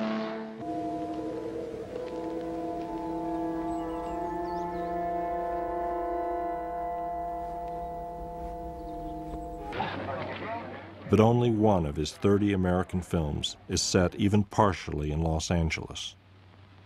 The first 10 minutes of Saboteur are located in or around Los Angeles, but it could be anywhere in America where there is an aircraft factory. The scenes were shot in the studio, and there is nothing distinctive to the region in the sets. Hitchcock even had Marion Crane bypass Los Angeles on her fateful journey from Phoenix to the Bates Motel in Northern California. But he never had an unkind word for his adopted hometown, at least in his movies. California, Max. Another low tourist director, Woody Allen, plainly expressed his disdain for Los Angeles in his most popular movie, no, I cannot. You keep bringing it up, but I don't want to live in a city where the only cultural advantage is that you can make a right turn on a red light. As the cinematic chronicler of New York's middle-brow middle class, the people who believe what they read in the New York Times, Allen rarely strays from his native milieu. But his best friend does move to Los Angeles, and Woody follows, although only for a visit You know, I can't get over that this is really Beverly Hills. The architecture is really consistent, isn't it? There's French next to Spanish, next to Tudor, next to Japanese. God, it's so clean out here. It's because they don't throw their garbage away. They make it into television shows. His tale of two cities becomes a tale of two marquees.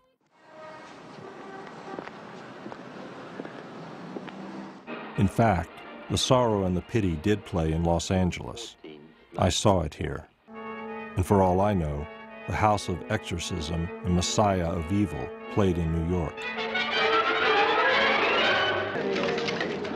But if New York has Woody Allen to live down, we can't feel superior. We have Henry Jaglom, who's even balder, even more narcissistic, even more solipsistic. I've learned that risks are the best thing. Everything that happens good and exciting that happens in film and in life, it comes as a result of a risk. Risk is my middle name. While New Yorkers are generally hostile, the British are often fascinated. In The Loved One, Tony Richardson acknowledges his ambivalence. The local architecture is kitsch, but it is transcendent kitsch. Oh, beautiful. Beautiful. It's fine, Dusty. Just wonderful. See you later. Harry. A movie studio is a cruel court where everyone is subject to the most wayward whim of its mogul. But the back lot is an enchanted village of accidental surrealism. The climate here suits me admirably, and the people here are so kind and generous. They talk entirely for their own pleasure and they never expect you to listen. People who hate Los Angeles love Point Blank.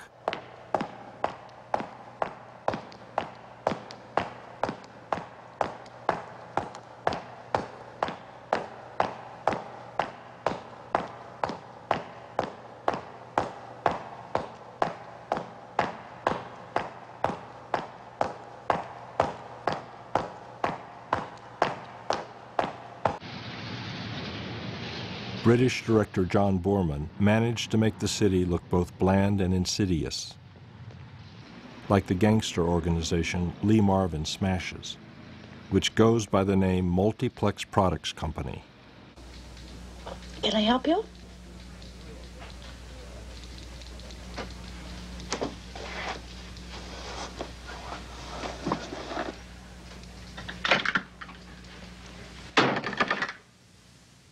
For me, the highlight of the film is the astonishing tableau of grotesque interior decoration schemes. It's enough to make you believe the 70s began in the mid 60s.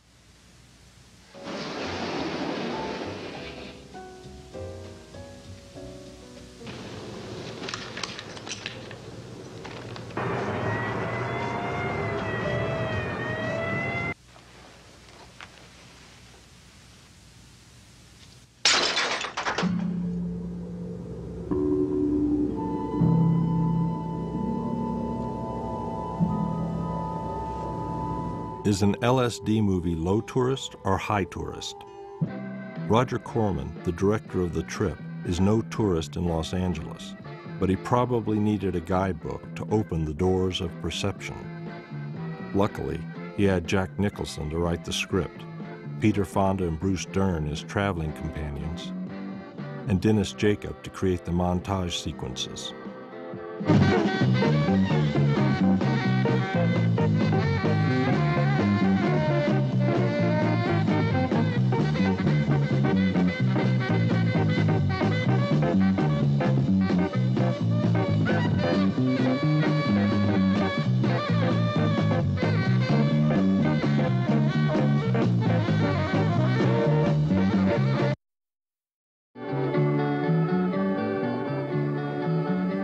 Experimental high tourist filmmakers like Corman, Maya Deren, Andy Warhol, and Fred Halsted discovered a pastoral Arcadia near the heart of Los Angeles. How are you doing? Beautiful.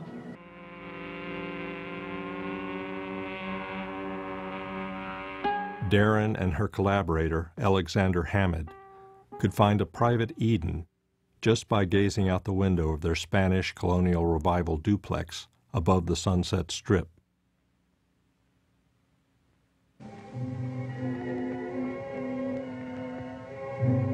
For Warhol, Hollywood formulas represented an innocence that could be regained only sort of. But Sam Rodia's towers and Watts were a bit of paradise not yet lost.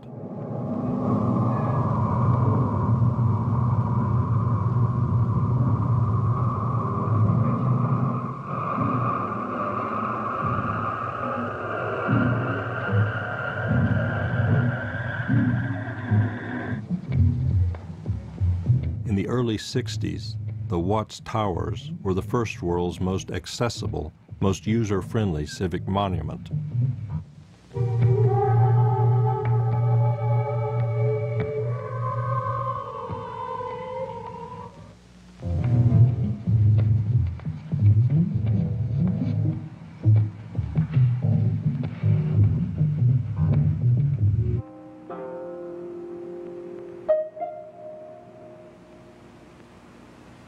Fred Halsted's gay porn masterpiece recapitulates the loss of Eden, moving from the idyllic rural canyons to the already mean streets of Hollywood.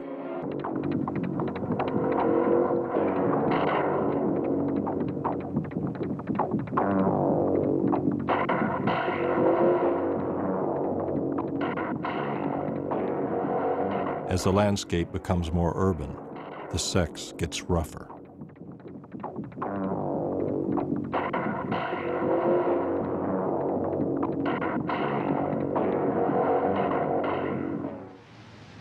Continental European directors are usually high tourists, so they appreciate Los Angeles, even the tacky stuff we hate, like the Sunset Strip.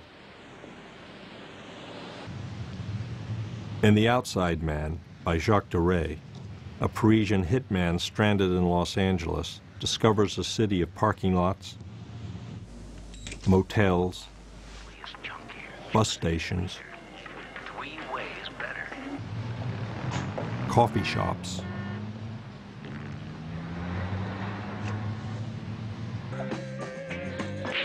strip bars, and real estate opportunities. It's all quite ugly, I suppose, but it adds up to a precise portrait of the city in 1973, just as I remember it.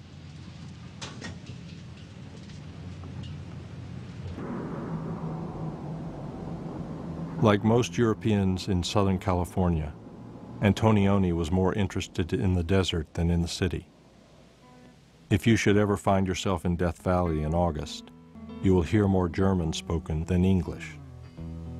But before heading for Zabriskie Point, Antonioni took his protagonist on a high tourist spin around Los Angeles, starting with the now famous murals at the Farmer John's meatpacking plant in Vernon later featured in Brian De Palma's Carrie and Jon Jost's Angel City.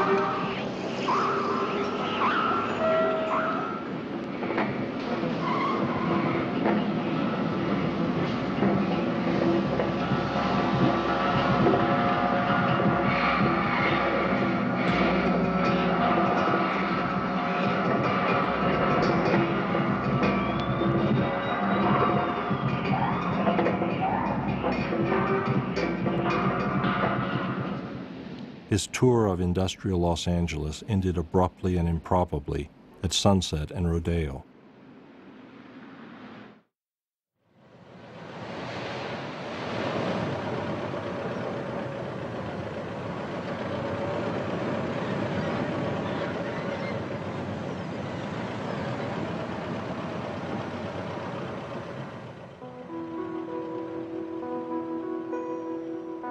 Jacques Demy loved Los Angeles as only a tourist can. Or maybe I should say, as only a French tourist can. I resented Model Shop when it came out because it was a West Side movie. Its vision of the city didn't extend east of Vine Street. But now I can appreciate an early poignant attempt to defend Los Angeles as a city. It's totally incoherent, but if you live here, you have to be moved. I was driving down Sunset and I turned on one of those roads that leads up into the hills. And I stopped at this place that overlooks the whole city. It was fantastic. I suddenly felt exhilarated, yeah. I was really moved by the geometry of the place, its conception, its Baroque harmony. It's a fabulous city. To think some people claim it's an ugly city when it's really pure poetry, it just kills me. I wanted to build something right then, create something. You know what I mean? Yeah, I do. I understand.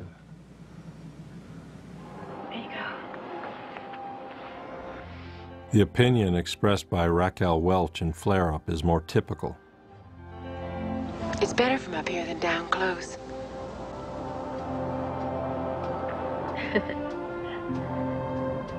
Roman Polanski later stole her line and improved upon it. There's no more beautiful city in the world provided it's seen by night and from a distance.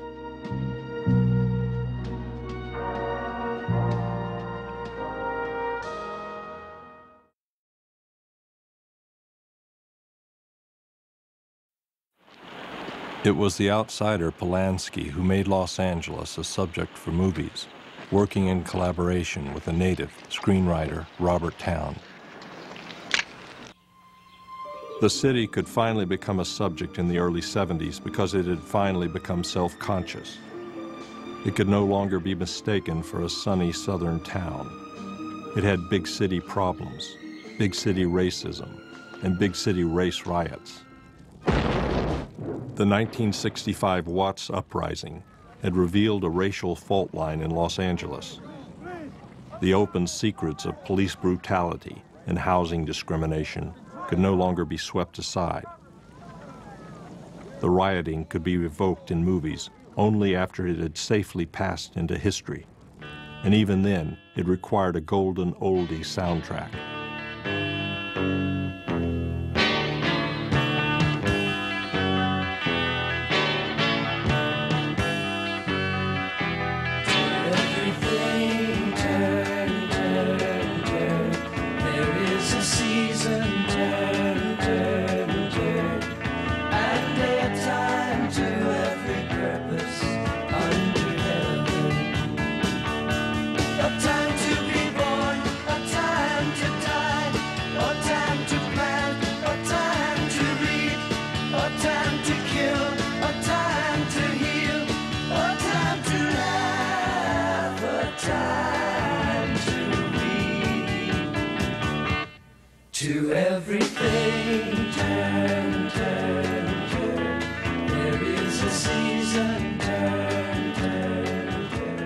Yet the shadow of Watts loomed over movies about Los Angeles. Isn't the notion of Chinatown as the forsaken hellhole of civic negligence a displaced vision of Watts? The endless boom was ending, and the new depression hit Southern California particularly hard. As David Gebhard and Robert Winter wrote in their guide to architecture in Los Angeles, no one seems sure of the future any longer. Smog, the congestion of people, and their extension, the automobile, the continual destruction of farmland, potential and real water shortages created doubts of such magnitude that even the usual boosterism of Southern California found it increasingly difficult to reassert the old beliefs. The questions began. How did we go wrong? When did we go wrong? Although Los Angeles is a city with no history, nostalgia has always been the dominant note in the city's image of itself. At any time in its history, Los Angeles was always a better place, a long time ago, than in the present. What was new in the 70s was a nostalgia for what might have been, a sense that everything might have been different except for one defining event we began to look for an originary sin. Robert Towne took an urban myth about the founding of Los Angeles on water stolen from the Owens River Valley and made it resonate. Chinatown isn't a docudrama, it's a fiction. The water project it depicts isn't the construction of the Los Angeles Aqueduct, engineered by William Mulholland before the First World War. Chinatown is set in 1938, not 1905. The Mulholland-like figure, Hollis Mulwray, isn't the chief architect of the project, but rather its strongest opponent, who must be discredited and murdered. Mulwray is against the Alto Vallejo Dam because it's unsafe, not because it's stealing water from somebody else. In case you've forgotten, gentlemen, over 500 lives were lost when the Vanderlip Dam gave way. And now you propose yet another dirt bank terminus dam with slopes of two and a half to one, 112 feet high, and a 12,000 acre water surface. Well, it won't hold. I won't build it. It's that simple. But there are echoes of Mulholland's aqueduct project in Chinatown. That dam's a con job. What dam? The one your husband opposed. They're conning L.A. into building it, but the water's not going to go to L.A. It's coming right here. To the valley? Everything you can see, everything around us. They're blowing these farmers out of their land and then picking it up for peanuts. You have any idea what this land would be worth with a steady water supply? About 30 million more than they paid for it. Mulholland's project enriched its promoters through insider land deals in the San Fernando Valley just like the dam project in Chinatown. The disgruntled San Fernando Valley farmers of Chinatown, forced to sell off their land at bargain prices because of an artificial drought, seem like stand-ins for the Owens Valley settlers, whose homesteads turned to dust when Los Angeles took the water that irrigated them. The Vanderlip Dam disaster which Hollis Mulwray cites to explain his opposition to the proposed dam, is an obvious reference to the collapse of the St. Francis Dam in 1928. Mulholland built this dam after completing the aqueduct, and its failure was the greatest man-made disaster in the history of California. These echoes have led many viewers to regard Chinatown not only as docudrama, but as truth the real secret history of how Los Angeles got its water. And it has become a ruling metaphor for non-fictional critiques of Los Angeles development. Chinatown Revisited is the phrase Mike Davis coined for the downtown skyscraper boom of 1973 to 1986. And he cast future mayor Richard Riordan as its prime fixer a publicly financed civic project had again generated windfall profits for a wealthy ring of insiders.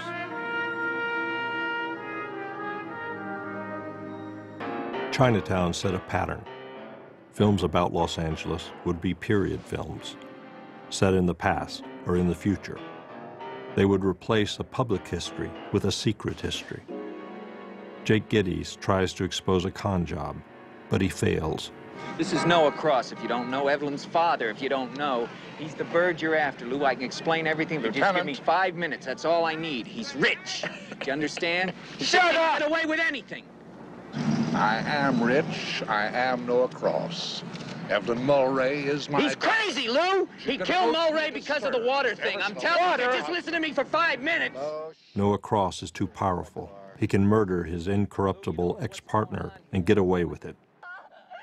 He can rape the land, figuratively, and rape his own daughter, literally, and keep the child produced by this incestuous union. The truth will never come out. I could quote David Thomson again. I know the additive of corruption in LA's water. I've seen Chinatown, and I know there's no sense in protesting. Forget it, Jake. It's Chinatown. Chinatown teaches that good intentions are futile. It's better not to act, even better not to know. Somehow this dark vision hasn't offended anybody. All right, come on, clear the area. On the sidewalk. On the sidewalk. Get off the street. This is history written by the victors, but as usual, it is written in crocodile tears.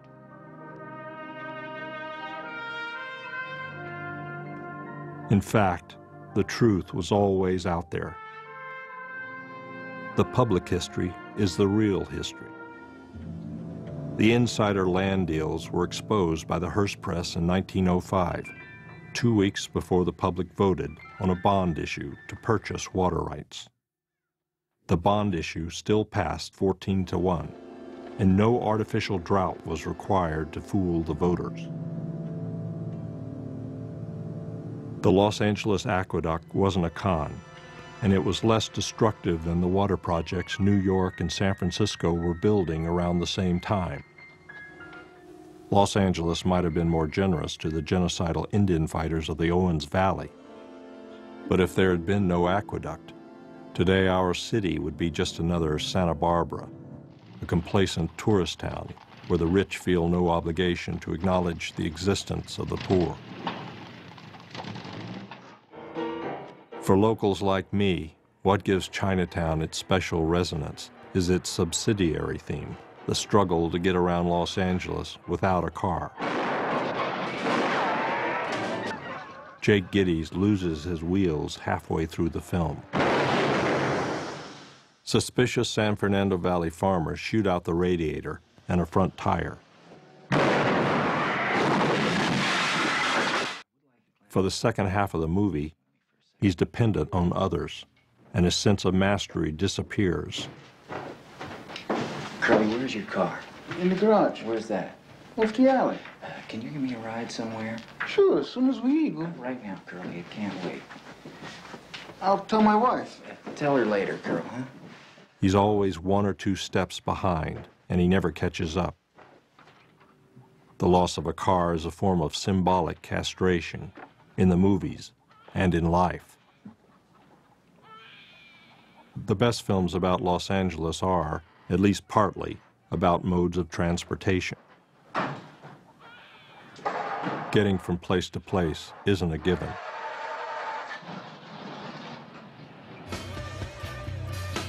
Cars break down. They get flat tires. They get towed. Hey, what's going on here? Or you don't have a car. You have to catch a bus. Or you have to walk. Yeah. In Sunset Boulevard, the action is set off by a visit two repo men pay on Joe Gillis. Joseph C. Gillis? That's right. We've come for the car.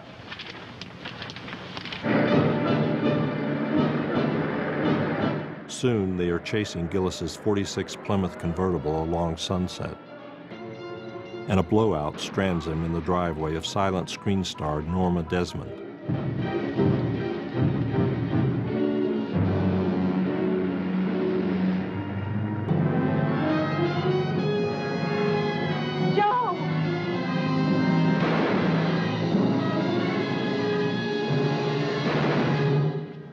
Car, he will die.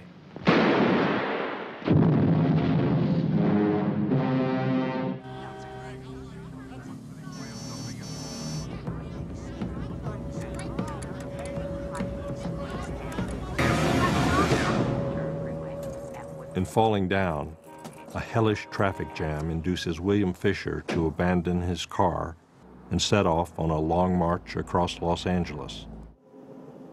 He will become an urban terrorist for a day, railing against the degradation of public space. You couldn't let a man sit here for five minutes and take a rest on your precious piece of shit hill? Okay. Want my briefcase? I'll get it for you, all right? You can have my briefcase. Here, you want my briefcase? Here's my briefcase! Briefcase, huh? Wait a minute, wait, wait, here, here, get here. Hey, where you going, huh? Where you going? You forgot the briefcase! You forgot the briefcase! But his condescension is so thick you have to sympathize with his victims. Drink, 85 cents. You pay or go. What's a phi? I don't understand a phi. There's a V in the word. It's five. Uh, you don't got these in China? Not Chinese. I'm Korean. Uh, whatever. You come to my country, you take my money, you don't even have the grace to learn how to speak my language? Transportation is the central theme in Who Framed Roger Rabbit, which offers itself as a cartoon version of Chinatown. It updates the downfall of Los Angeles to 1947 with the death of the trolleys and the birth of the freeways. Wait for me! Oh, guys! Hey, mister, ain't you got a car? Needs a car in L.A.? We got the best public transportation system in the world. In 1947, many would have disagreed with Eddie Valiant's endorsement of Pacific Electric's big red cars and the yellow cars of the Los Angeles Railway. Complaints about overcrowding, slowness, discriminatory pricing, and poor service had been endemic for more than 30 years. But after the war, there was indeed another kind of trouble. Several months ago, I had the good providence to stumble upon this plan of the city councilors. A construction plan of epic proportions. We are calling it a freeway. Freeway? What the hell's a freeway? Eight lanes of shimmering cement running from here to Pasadena. Smooth, safe, fast. Traffic jams will be a thing of the past. I see a place where people get on and off the freeway. On and off, off and on, all day, all night. Soon, where Toontown once stood will be a string of gas stations, inexpensive motels, restaurants that serve rapidly prepared food, tire salons, automobile dealerships, and wonderful, wonderful billboards reaching as far as the eye can see. My God, it'll be beautiful. Come on. Nobody's gonna drive this lousy freeway when they can take a red car for a nickel. Oh, they'll drive. They'll have to. You see, I bought the red car so I could dismantle it. The fictional machinations of the diabolical Judge Doom were modeled on the real intrigues of National City Lines, the public transit company controlled by General Motors and other automotive interests. During the 40s, it bought up interurban railways throughout the U.S. and replaced streetcars with buses, allegedly to sabotage public transportation. Another conspiracy to destroy Eden. But in this movie, there is a counter-historical happy ending. There is no need for words of consolation. Nobody has to tell its detective hero, forget it, Eddie, it's Toontown. Valiant kills Judge Doom after a protracted duel. And we may assume the red cars are saved, along with Toontown. But once again, the people are excluded, although the Toon characters get to rejoice in the happy ending. Actually, trolleys had been on the way out since the 20s when proposals for public ownership were defeated. Eddie Valiant himself gets around town by automobile after a single red car ride at the beginning of the movie. The real post war struggle over mass transit reached a climax in 1949 when a proposal for a new light rail network was narrowly defeated in the City Council. An alternative to cars and buses was defeated not by General Motors and its allies, but by the promoters of decentralized suburban development.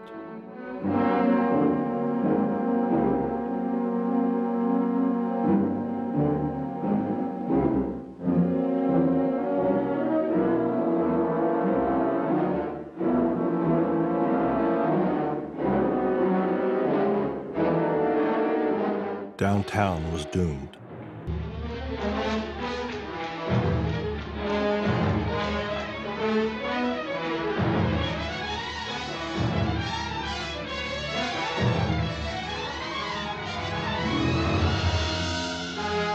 In the 80s, it went vertical. And there was an attempt to promote loft living on its eastern margins, an effort advertised in a few films. But even artists found the new urbanism daunting.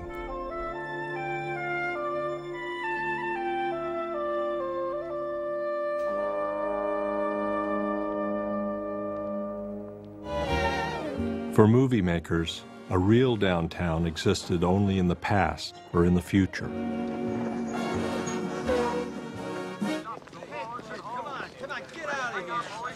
The wartime downtown evoked by Edward James Olmos in American Me was a dangerous place for Mexican Americans. Olmos didn't need the alibis of artistic license to isolate where and when it all went wrong for Los Angeles. June 1943, the Zoot Suit riots.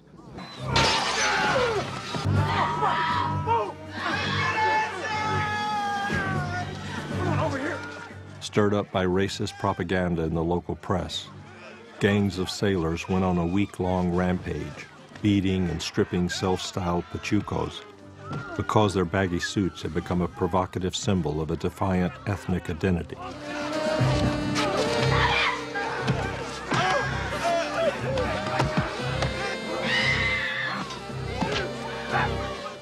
Olmos depicts these assaults as a humiliating defeat that disgraced and disarmed the greatest generation of Chicanos and produced a sick culture of amoral masochistic toughness as a reaction formation.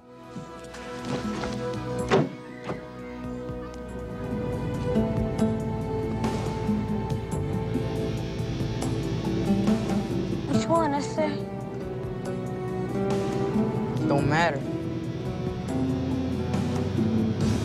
Fuck it, Holmes. La primera lives!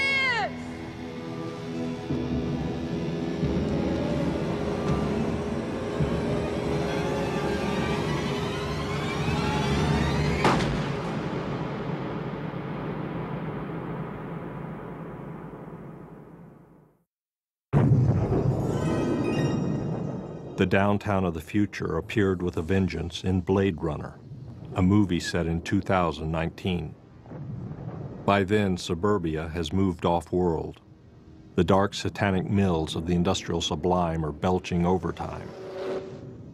And the smog has turned to acid rain.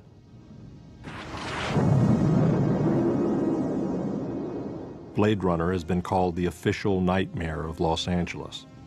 Yet this dystopian vision is, in many ways, a city planner's dream come true. Finally, a vibrant street life. A downtown crowded with nighttime strollers.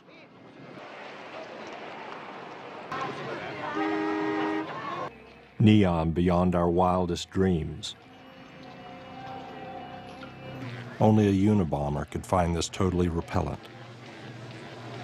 The streets are littered with electronic parking meters, but there are no cars parked next to them.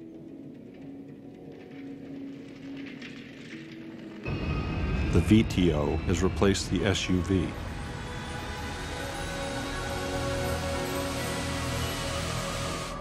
But there are no traffic jams in the sky.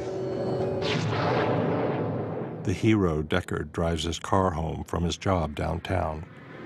Yet when he pulls into the grounds of the 100-story apartment building where he lives, he finds a parking place right next to the front door. Apparently, he is the only tenant with a car. Blade Runner is easy to criticize. Pauline Kael noted that it lacks even the slightest curiosity about how the world got to this state in just 40 years. Harrison Ford diagnosed its narrative deficiencies in his complaint, I played a detective who did no detecting. No one seems to agree about what the film means, not even the filmmakers themselves. Director Ridley Scott and his collaborators couldn't even agree on whether the protagonist is a human or a replicant. It's too bad she won't live. But then again, who does? Yet Blade Runner continues to fascinate. Perhaps it expresses a nostalgia for a dystopian vision of the future that has become outdated. This vision offered some consolation because it was at least sublime. Now the future looks brighter, hotter, and blander. Buffalo will become Miami, and Los Angeles will become Death Valley at least until the rising ocean tides wash it away. Computers will get faster, and we will get slower. There will be plenty of progress, but few of us will be any better off or happier for it. Robots won't be sexy and dangerous. They'll be dull and efficient, and they'll take our jobs.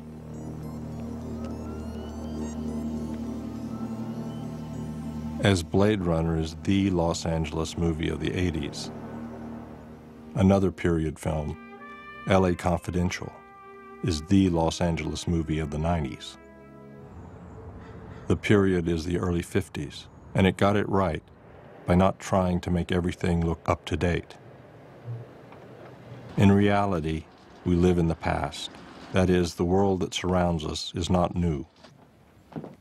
The things in it our houses, the places we work, even our clothes and our cars aren't created anew every day. So any particular period is an amalgam of many earlier times.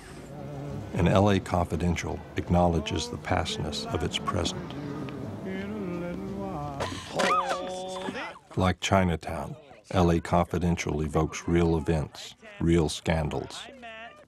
The scandal-mongering magazine Hush Hush is based on the pioneering tabloid Confidential, and the TV series Badge of Honor is based on Dragnet. Excuse me, ma'am. Just the facts. Lighter. Dragnet made its debut on radio in 1949 and moved to television in 1952. Some real historical figures appear in the cast of characters without fictional names. Johnny Stompanato. A hooker cut to look like Lana Turner is still a hooker. Hey! She just looks like Lana Turner. She is Lana Turner. What? She is Lana Turner. A real scandal. In the early morning hours of Christmas Day in 1951, drunken cops had beaten seven prisoners arrested after a bar fight. This is for ours, Pancho.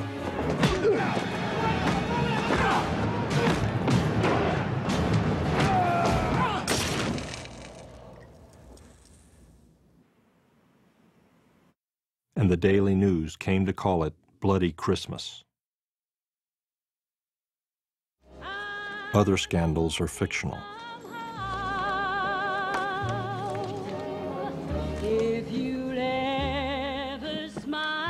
It may surprise some that a man in public office would admit to making a mistake.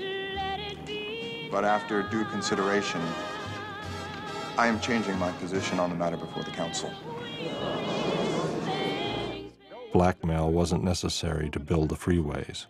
From downtown to the beach in 20 minutes.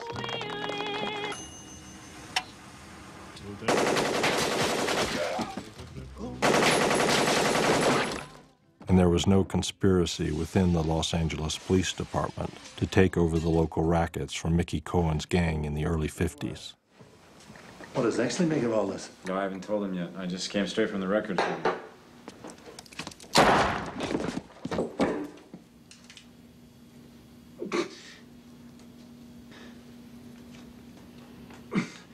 LA Confidential suggests another secret history of the city. The police conspiracy is smashed and its mastermind is killed.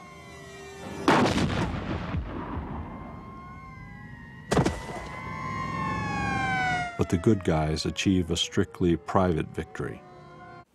Beginning with the incarceration of Mickey Cohen, Captain Smith has been assuming control of organized crime in the city of Los Angeles. This includes the assassinations of an unknown number of Mickey Cohen lieutenants, the systematic blackmail of city officials. Captain Smith admitted as much to me before I shot him at the Victory Motel. There is a cover up, and the public never gets the real story. If we can get the kid to play ball, who's to say what happened? Maybe Dudley Smith died a hero. Cynicism has become the dominant myth of our times, and LA Confidential preaches it. It is with great pleasure that I present this award to Detective Lieutenant Edmund Exley, two-time Medal of Valor recipient. Cynicism tells us we are ignorant and powerless, and LA Confidential proves it. Actually, the real scandal of the day was on the front pages of the newspapers almost every day from December 1951 to May 1953. It took a public battle to destroy public housing, a tragedy from which Los Angeles has yet to recover. The defeat of public housing doesn't demonstrate that the people are powerless, just the opposite. After its opponents began to denounce public housing as creeping socialism, the people voted it down. The LAPD and its chief, William Parker, spearheaded the campaign against it. Parker leaked intelligence division files to discredit City Housing Authority spokesman Frank Wilkinson as a communist. Then, just before the municipal elections of 1953, Parker helped smear incumbent Mayor Fletcher Bowron, a public housing supporter, for being soft on Wilkinson. Bowron lost by 30,000 votes, and the new mayor killed public housing for good. The LAPD didn't control the rackets in the 50s. It controlled the city. The police corruption in LA Confidential is quaint by comparison.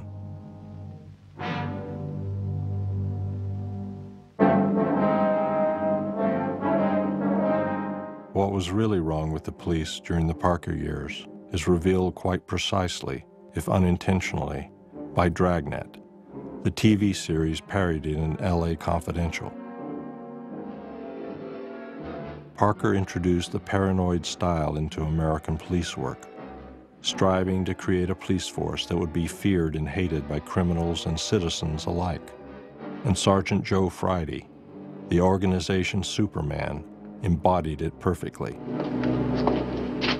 All right, hands up on the wall. Not this time. I got friends with Would you rather do it downtown? Oh, get off my back, will you? You know I'm clean. Are you? Hands up on the wall.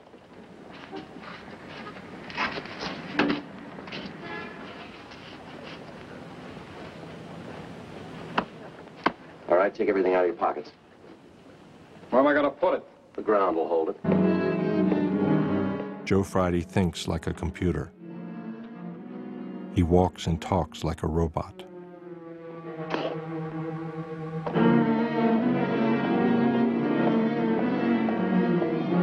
Actually, I love Dragnet, particularly its late 60s reincarnation, when Friday got a new partner and took on the youth culture. Will you be seeing my father after you leave? Sure. Ask him to read the Bible, the Epistle of Paul to the Ephesians. Maybe he'll understand. How's that? Because of what it says about our generation. Tell him to read chapter 6. Fathers, provoke not your children to wrath. The old ways are not their ways. Your dusk is their dawn. The future is theirs. Try chapter 5, lady. The Apostle Paul also said this Yes, what is that? See then that ye walk circumspectly, not as fools, but as wise. Its creator and star, Jack Webb, directed each episode with a rigor equaled only by Ozu and Bresson, the cinema's acknowledged masters of transcendental simplicity. Dragnet admirably expressed the contempt the LAPD had for the law abiding citizens it was pledged to protect and to serve. It protected us from ourselves, and it served us despite our best efforts to make the job more difficult. We'd like you to come downtown for a show up. Mr. Friday, you just as well know now. I'm not going to do it. You afraid to testify, Quinn? I just don't remember. What is it, your family, your wife and children? I don't have no family. I'm it. The whole kit and caboodle. But I don't want to go downtown and get all mixed up in something. You'll have to go before the grand jury. They'll subpoena you. Mr. Friday, I'd like to ask you a question. If you was me, would you do it? Can I wait a while? Huh? Before I'm you. Friday's heavy handed irony never lets up. None of the witnesses or suspects he questions penetrate his wall of condescension.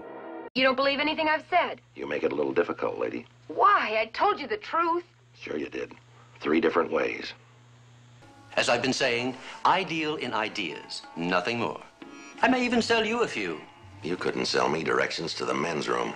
The grotesques and lunatics he encountered every week must have gone a long way to establish the city's reputation as the world capital of the weird. Ah, the powers of flowers draw you here. No, ma'am, we're police officers. Oh, how lovely. Are you Miss DeLeon? Nora Della De Leone was my given name, my family name. But I changed it about an hour ago. It's so contrived, so out of it. Just call me Agnes Hickey. Yes, ma'am. I'm not like some. I dig the fuzz. After all, you're like the flowers yourselves. You have to live too. Yes, ma'am. Did you report your purse stolen by a dog? Of course, Dragnet isn't a documentary portrait of the LAPD, and its detectives weren't really like Joe Friday. What's scary is that he represented the department's ideal. Sometimes I wonder if we are more obsessed with the police than people in other cities. Is there any other city where the police put their motto in quotation marks? Are they trying to be ironic? Can there be a movie about Los Angeles that isn't about its police?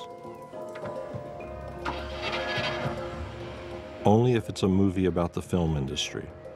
And even then, the police usually get called in, although it's often a suburban police force, not the LAPD. Mr. Miller, I'm Detective DeLongpre, Pasadena Police. No, I, I, I, you're putting me in a terrible position here. I would, I would hate to get the wrong person arrested. Oh, please. This is Pasadena. We do not arrest the wrong person. That's L.A. The dragnet image gave way first to the existential realism of Joseph Wambaugh, LAPD sergeant turned novelist and screenwriter.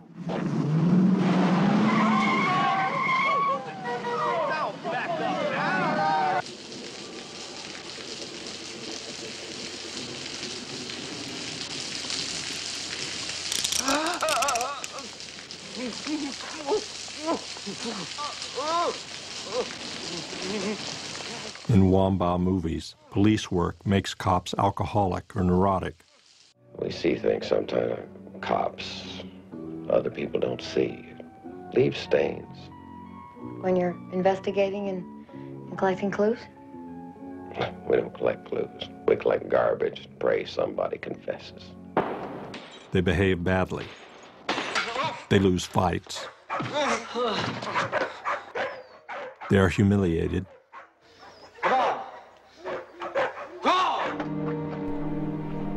They die.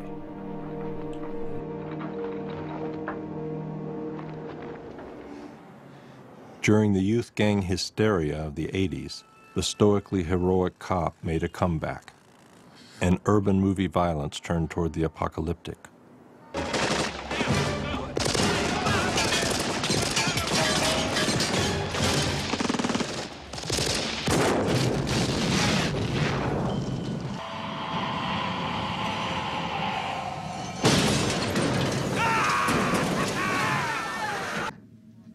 Cop killing machine emerged. James Cameron's Terminator. I'll be back.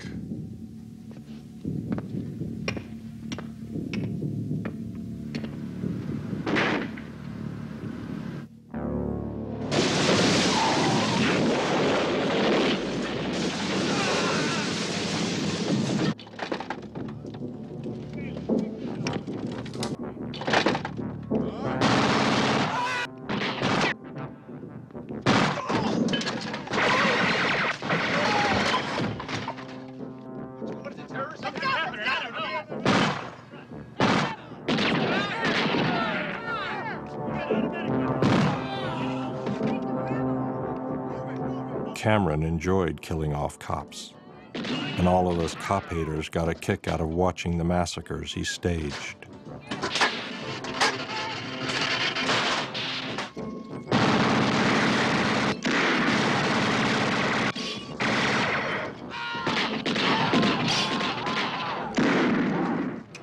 At the same time, the image of the Los Angeles policeman was splintering.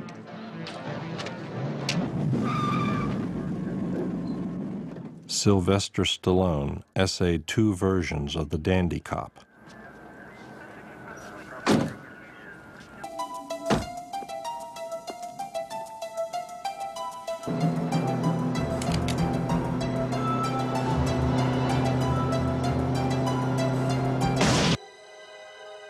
Mel Gibson played a suicidal cop.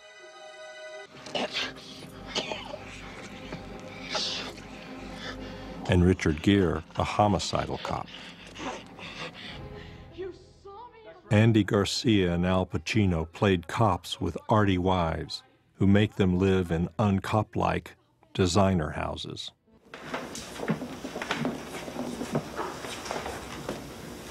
This is my friend Ralph. You didn't tell me you were. Sit down. Don't you even get angry? I'm angry. Oh. Yeah. I'm very angry, Ralph. You know, you can ball my wife if she wants you to. You can lounge around here on her sofa in her ex-husband's dead tech postmodernistic bullshit house if you want to. But you do not get to watch my fucking television set. For God's sake. After the videotaped and then televised beating of Rodney King in 1991, Los Angeles movie cops got even weirder. There was a psycho cop.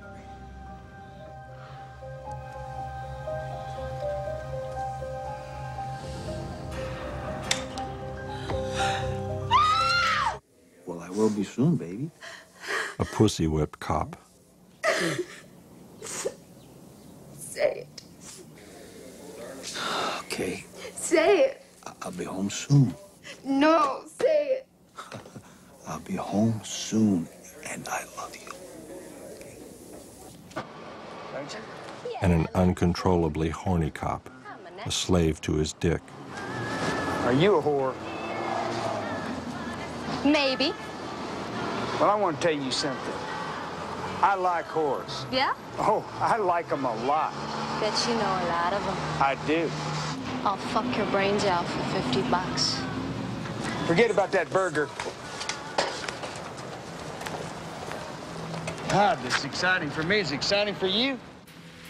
There was even a New Age homicide detective, usually attired in a collarless jacket with a string of Tibetan prayer beads around his neck. So tell me, man, what's up with the beads? Is there? Yeah. It's called a mala, Tibetan prayer beads. What do you use them for? I use them to calm my mind and to purify my thoughts. Yeah, I use Jack Daniels. Shut up! What's so threatening about that? Then there's the dog hating motorcycle cop in Robert Altman's gallery of beautiful, miserable people, living lives of noisy desperation. Transposed from Raymond Carver's Pacific Northwest to Southern California. All right, now you go run away. We don't want you anymore. Run away. We don't want you anymore. Go ahead. Hey, hey. Sniff this. Mm, look at that. It's a bone. Mm. All right, all right. Go get it.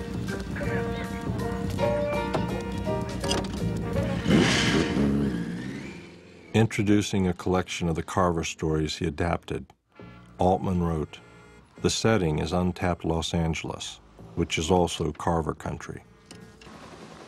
Not Hollywood or Beverly Hills, but Downey, Watts, Compton, Pomona, Glendale. American suburbia, the names you hear about on the freeway reports. In other words, if you actually lived in one of those places, instead of just hearing their names on the radio traffic reports, you wouldn't be reading this book. But the cityscapes in his film don't look like Watts or even Glendale, and they're not. Only one couple lives in the Hollywood Hills, but the others live closer to Hollywood than to Downey. Altman's condescension toward the outer suburbs suggests the difficulties Hollywood directors face in trying to make a contemporary film about Los Angeles. They know only a small part of the city, and that part has been tapped too often. A genre film or a literary adaptation is the safest bet. Altman's best film is both.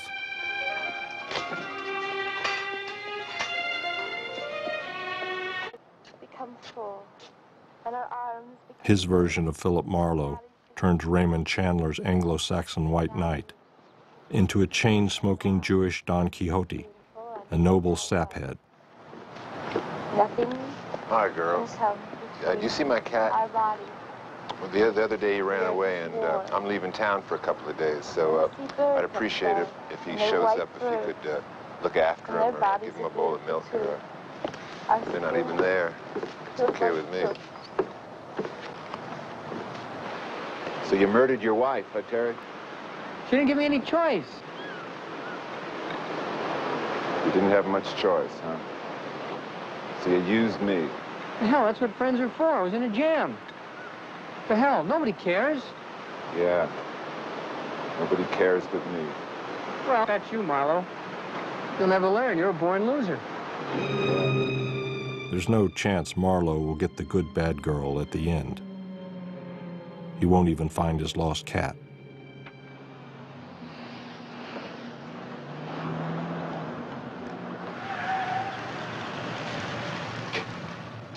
It's hard to make a personal film based on your own experience when you're absurdly overprivileged. You tend not to notice the less fortunate, and that's almost everybody. If you ridicule your circle of friends, your film will seem sour and petty. If you turn their problems into melodrama, your film will seem pathetic and self pitying.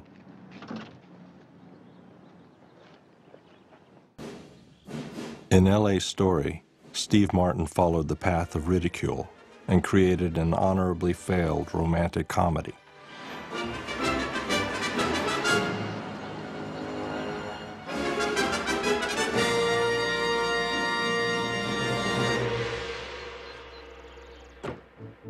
Of course, it's LA, not Los Angeles. Martin's LA is almost as white as Woody Allen's Manhattan. There are two blacks with speaking parts. Uh, Be the first ones to arrive. Right this way, please. both restaurant employees. I'm gonna tell you what we got to eat. We got primavera pasta, six different kinds of meat. We got You could call these racist stereotypes, but the whole film is nothing but stereotypes. Gee, I'm done already, and I don't remember reading.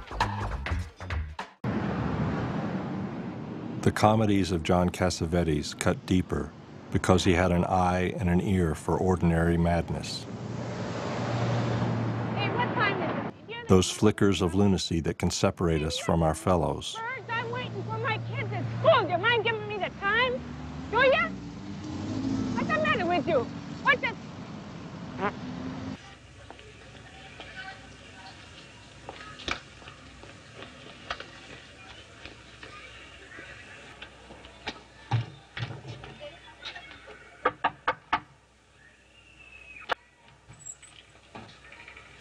I'm out. I'm Robert Harmon. Really?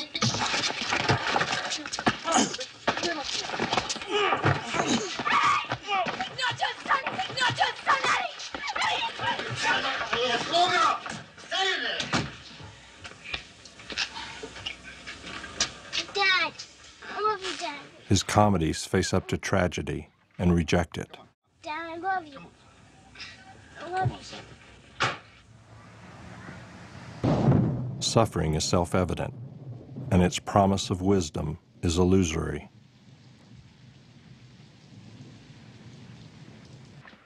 For Cassavetes, happiness is the only truth.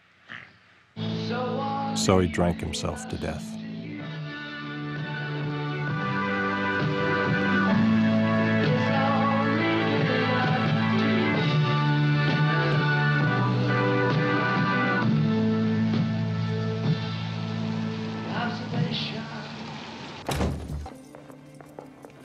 Diane Keaton's Hanging Up takes the path of melodrama. An absent mother and a prematurely grumpy and old father produce an intense rivalry among three sisters. Eve, are you not going to speak to me? Is that what this is about? And why aren't you talking to me? I didn't even do anything.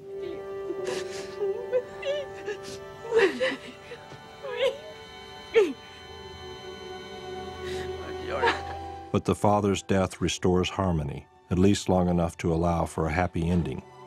All right. okay. Oh, God. Huh? Are you there? The three drama queens babble hysterically on three way cell phone hookups, transforming any space they occupy into a pajama party den. What? It's too late. My God. What does it mean? Keaton insists Hanging Up is a film about Los Angeles.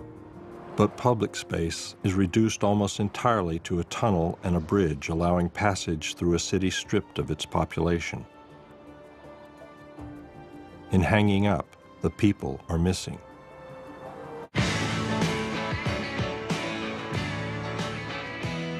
Lawrence Kasdan tried to find a middle way in Grand Canyon, a liberal version of the urban nightmare.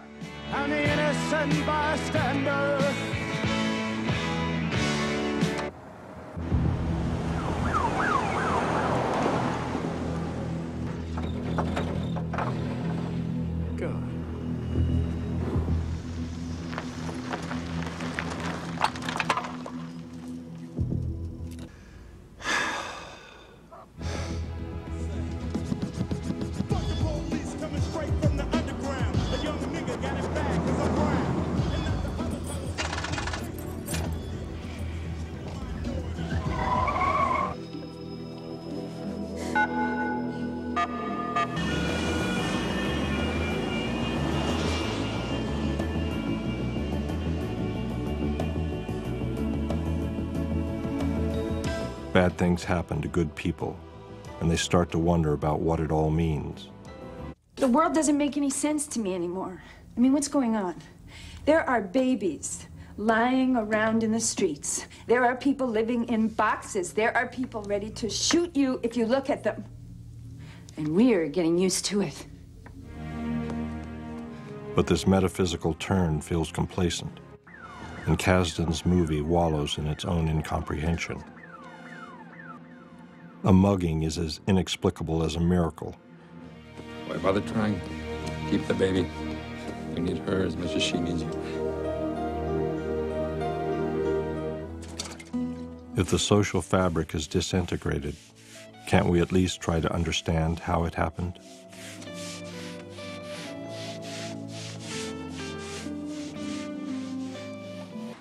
Instead, Kasdan finds solace in the little triumphs and epiphanies of everyday life, like a driving lesson. Go ahead.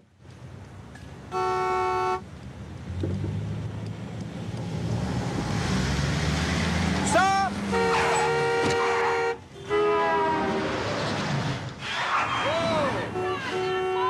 Okay, this guy's letting us in. Go, go, go.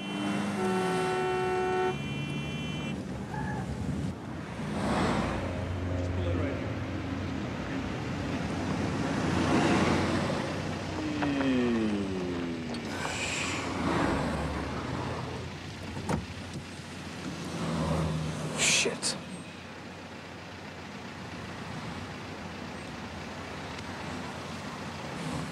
Sorry, Dad. Hey, this is difficult stuff. Making a left turn in LA is one of the harder things you're going to learn in life.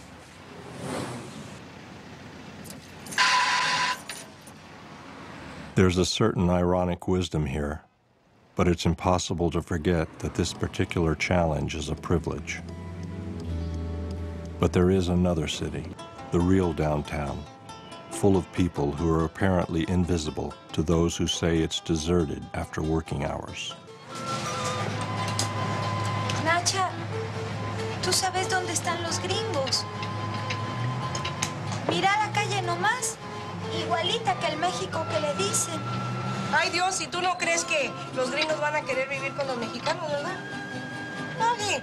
Ellos viven allá en sus colonias.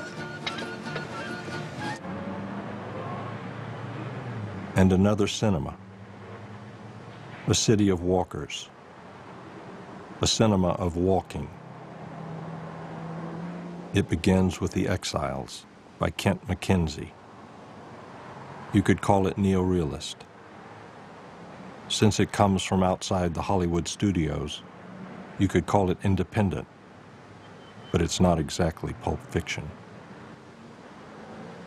I used to pray every night I went to bed and asked for something that I wanted, and I never got it, or it seems like my prayers were never answered, so I just gave up. And now I don't hardly go to church or don't say my prayers sometimes.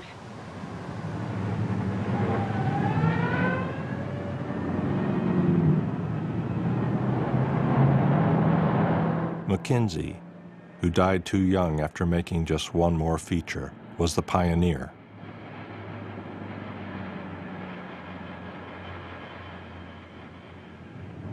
Fifteen years later, there was finally a neorealist movement in Los Angeles, led by young black filmmakers from the South. Haile Gerima from Ethiopia, Charles Burnett from Mississippi, Billy Woodberry from Texas. Haile Gerima's Bush Mama is another movie about the police, but it is one of the first to show cops entirely from the other side, from the viewpoint of the brutalized, the black people of South Los Angeles, who are made to feel they live in an occupied territory.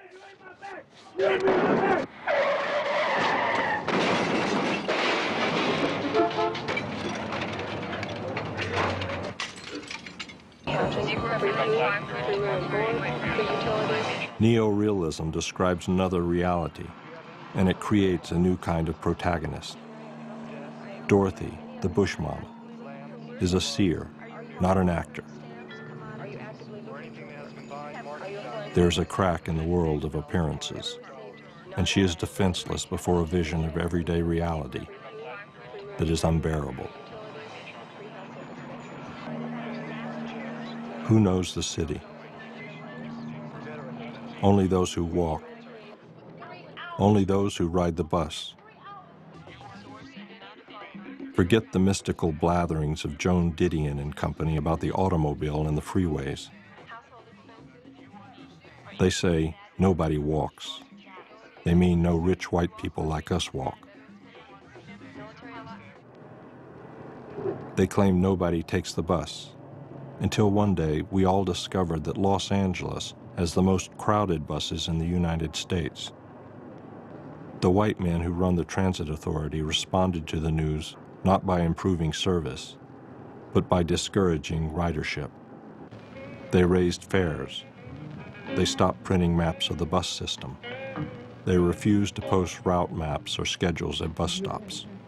They put their money into more glamorous subway and light rail projects. Sued for discrimination. They accepted a consent decree and then rejected its provisions. The people try to tell me to stop crying.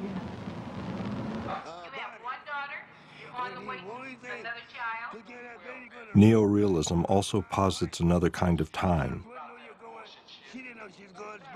Spatialized, non-chronological time of meditation and memory. The baby is dead. You understand what I'm saying? The baby is dead. She's dead. What you doing up there, woman? In Bush Mama, everything is filtered through Dorothy's consciousness. And the film follows it as it slides freely from perception to memory.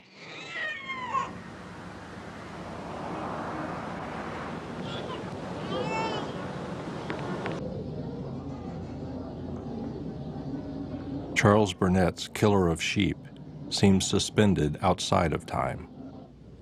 Burnett blended together the decades of his childhood, his youth, and his adulthood, and added an idiosyncratic panorama of classic black music, from Paul Robeson to Lowell Fulson.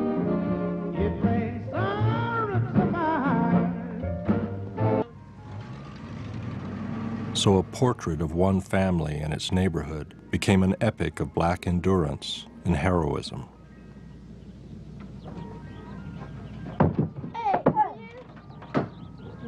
The police are absent in Killer of Sheep, and everyone has a car or a truck, although they're often more trouble than they're worth.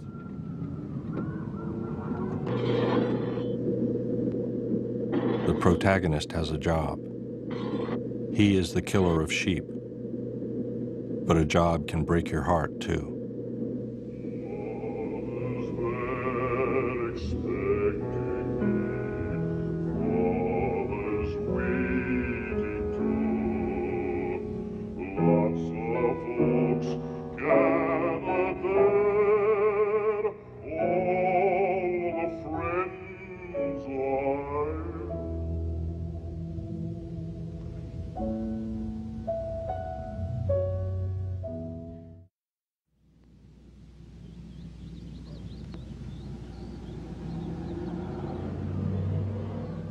White America had declared a crisis of the black family as a cover for its campaign of incremental genocide against its expendable ex-slave population, rendered superfluous by immigrant labor power. So black filmmakers responded by emphasizing families and children.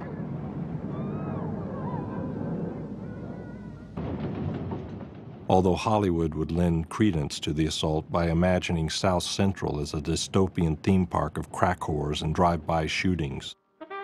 Independent black filmmakers showed that the real crisis of the black family is simply the crisis of the working class family, white or black, where family values are always at risk because the threat of unemployment is always present.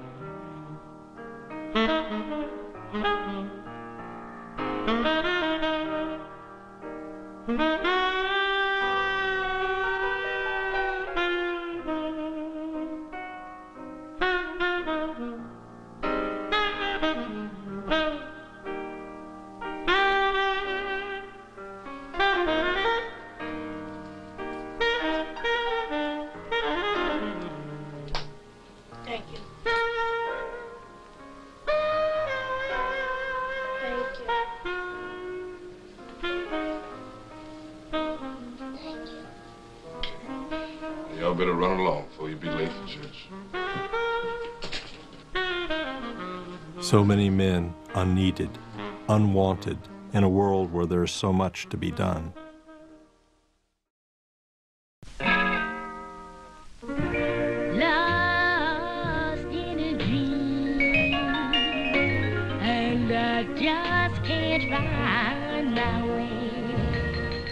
Billy Woodberry's Bless Their Little Hearts takes a drive by a reverse landmark one of the closed industrial plants that had once provided jobs for the black working class of Los Angeles.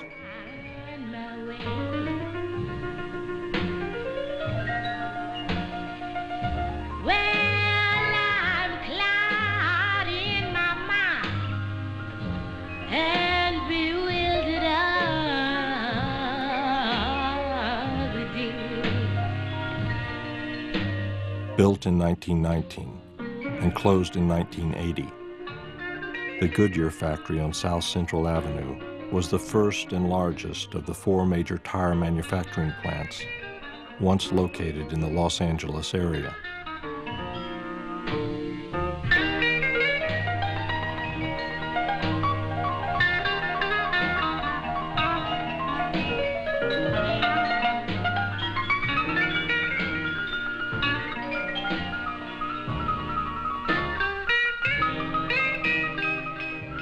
Once upon a time, visitors could take a guided tour and see how tires were made. Just as today, they can take a studio tour and see how movies are made. Tell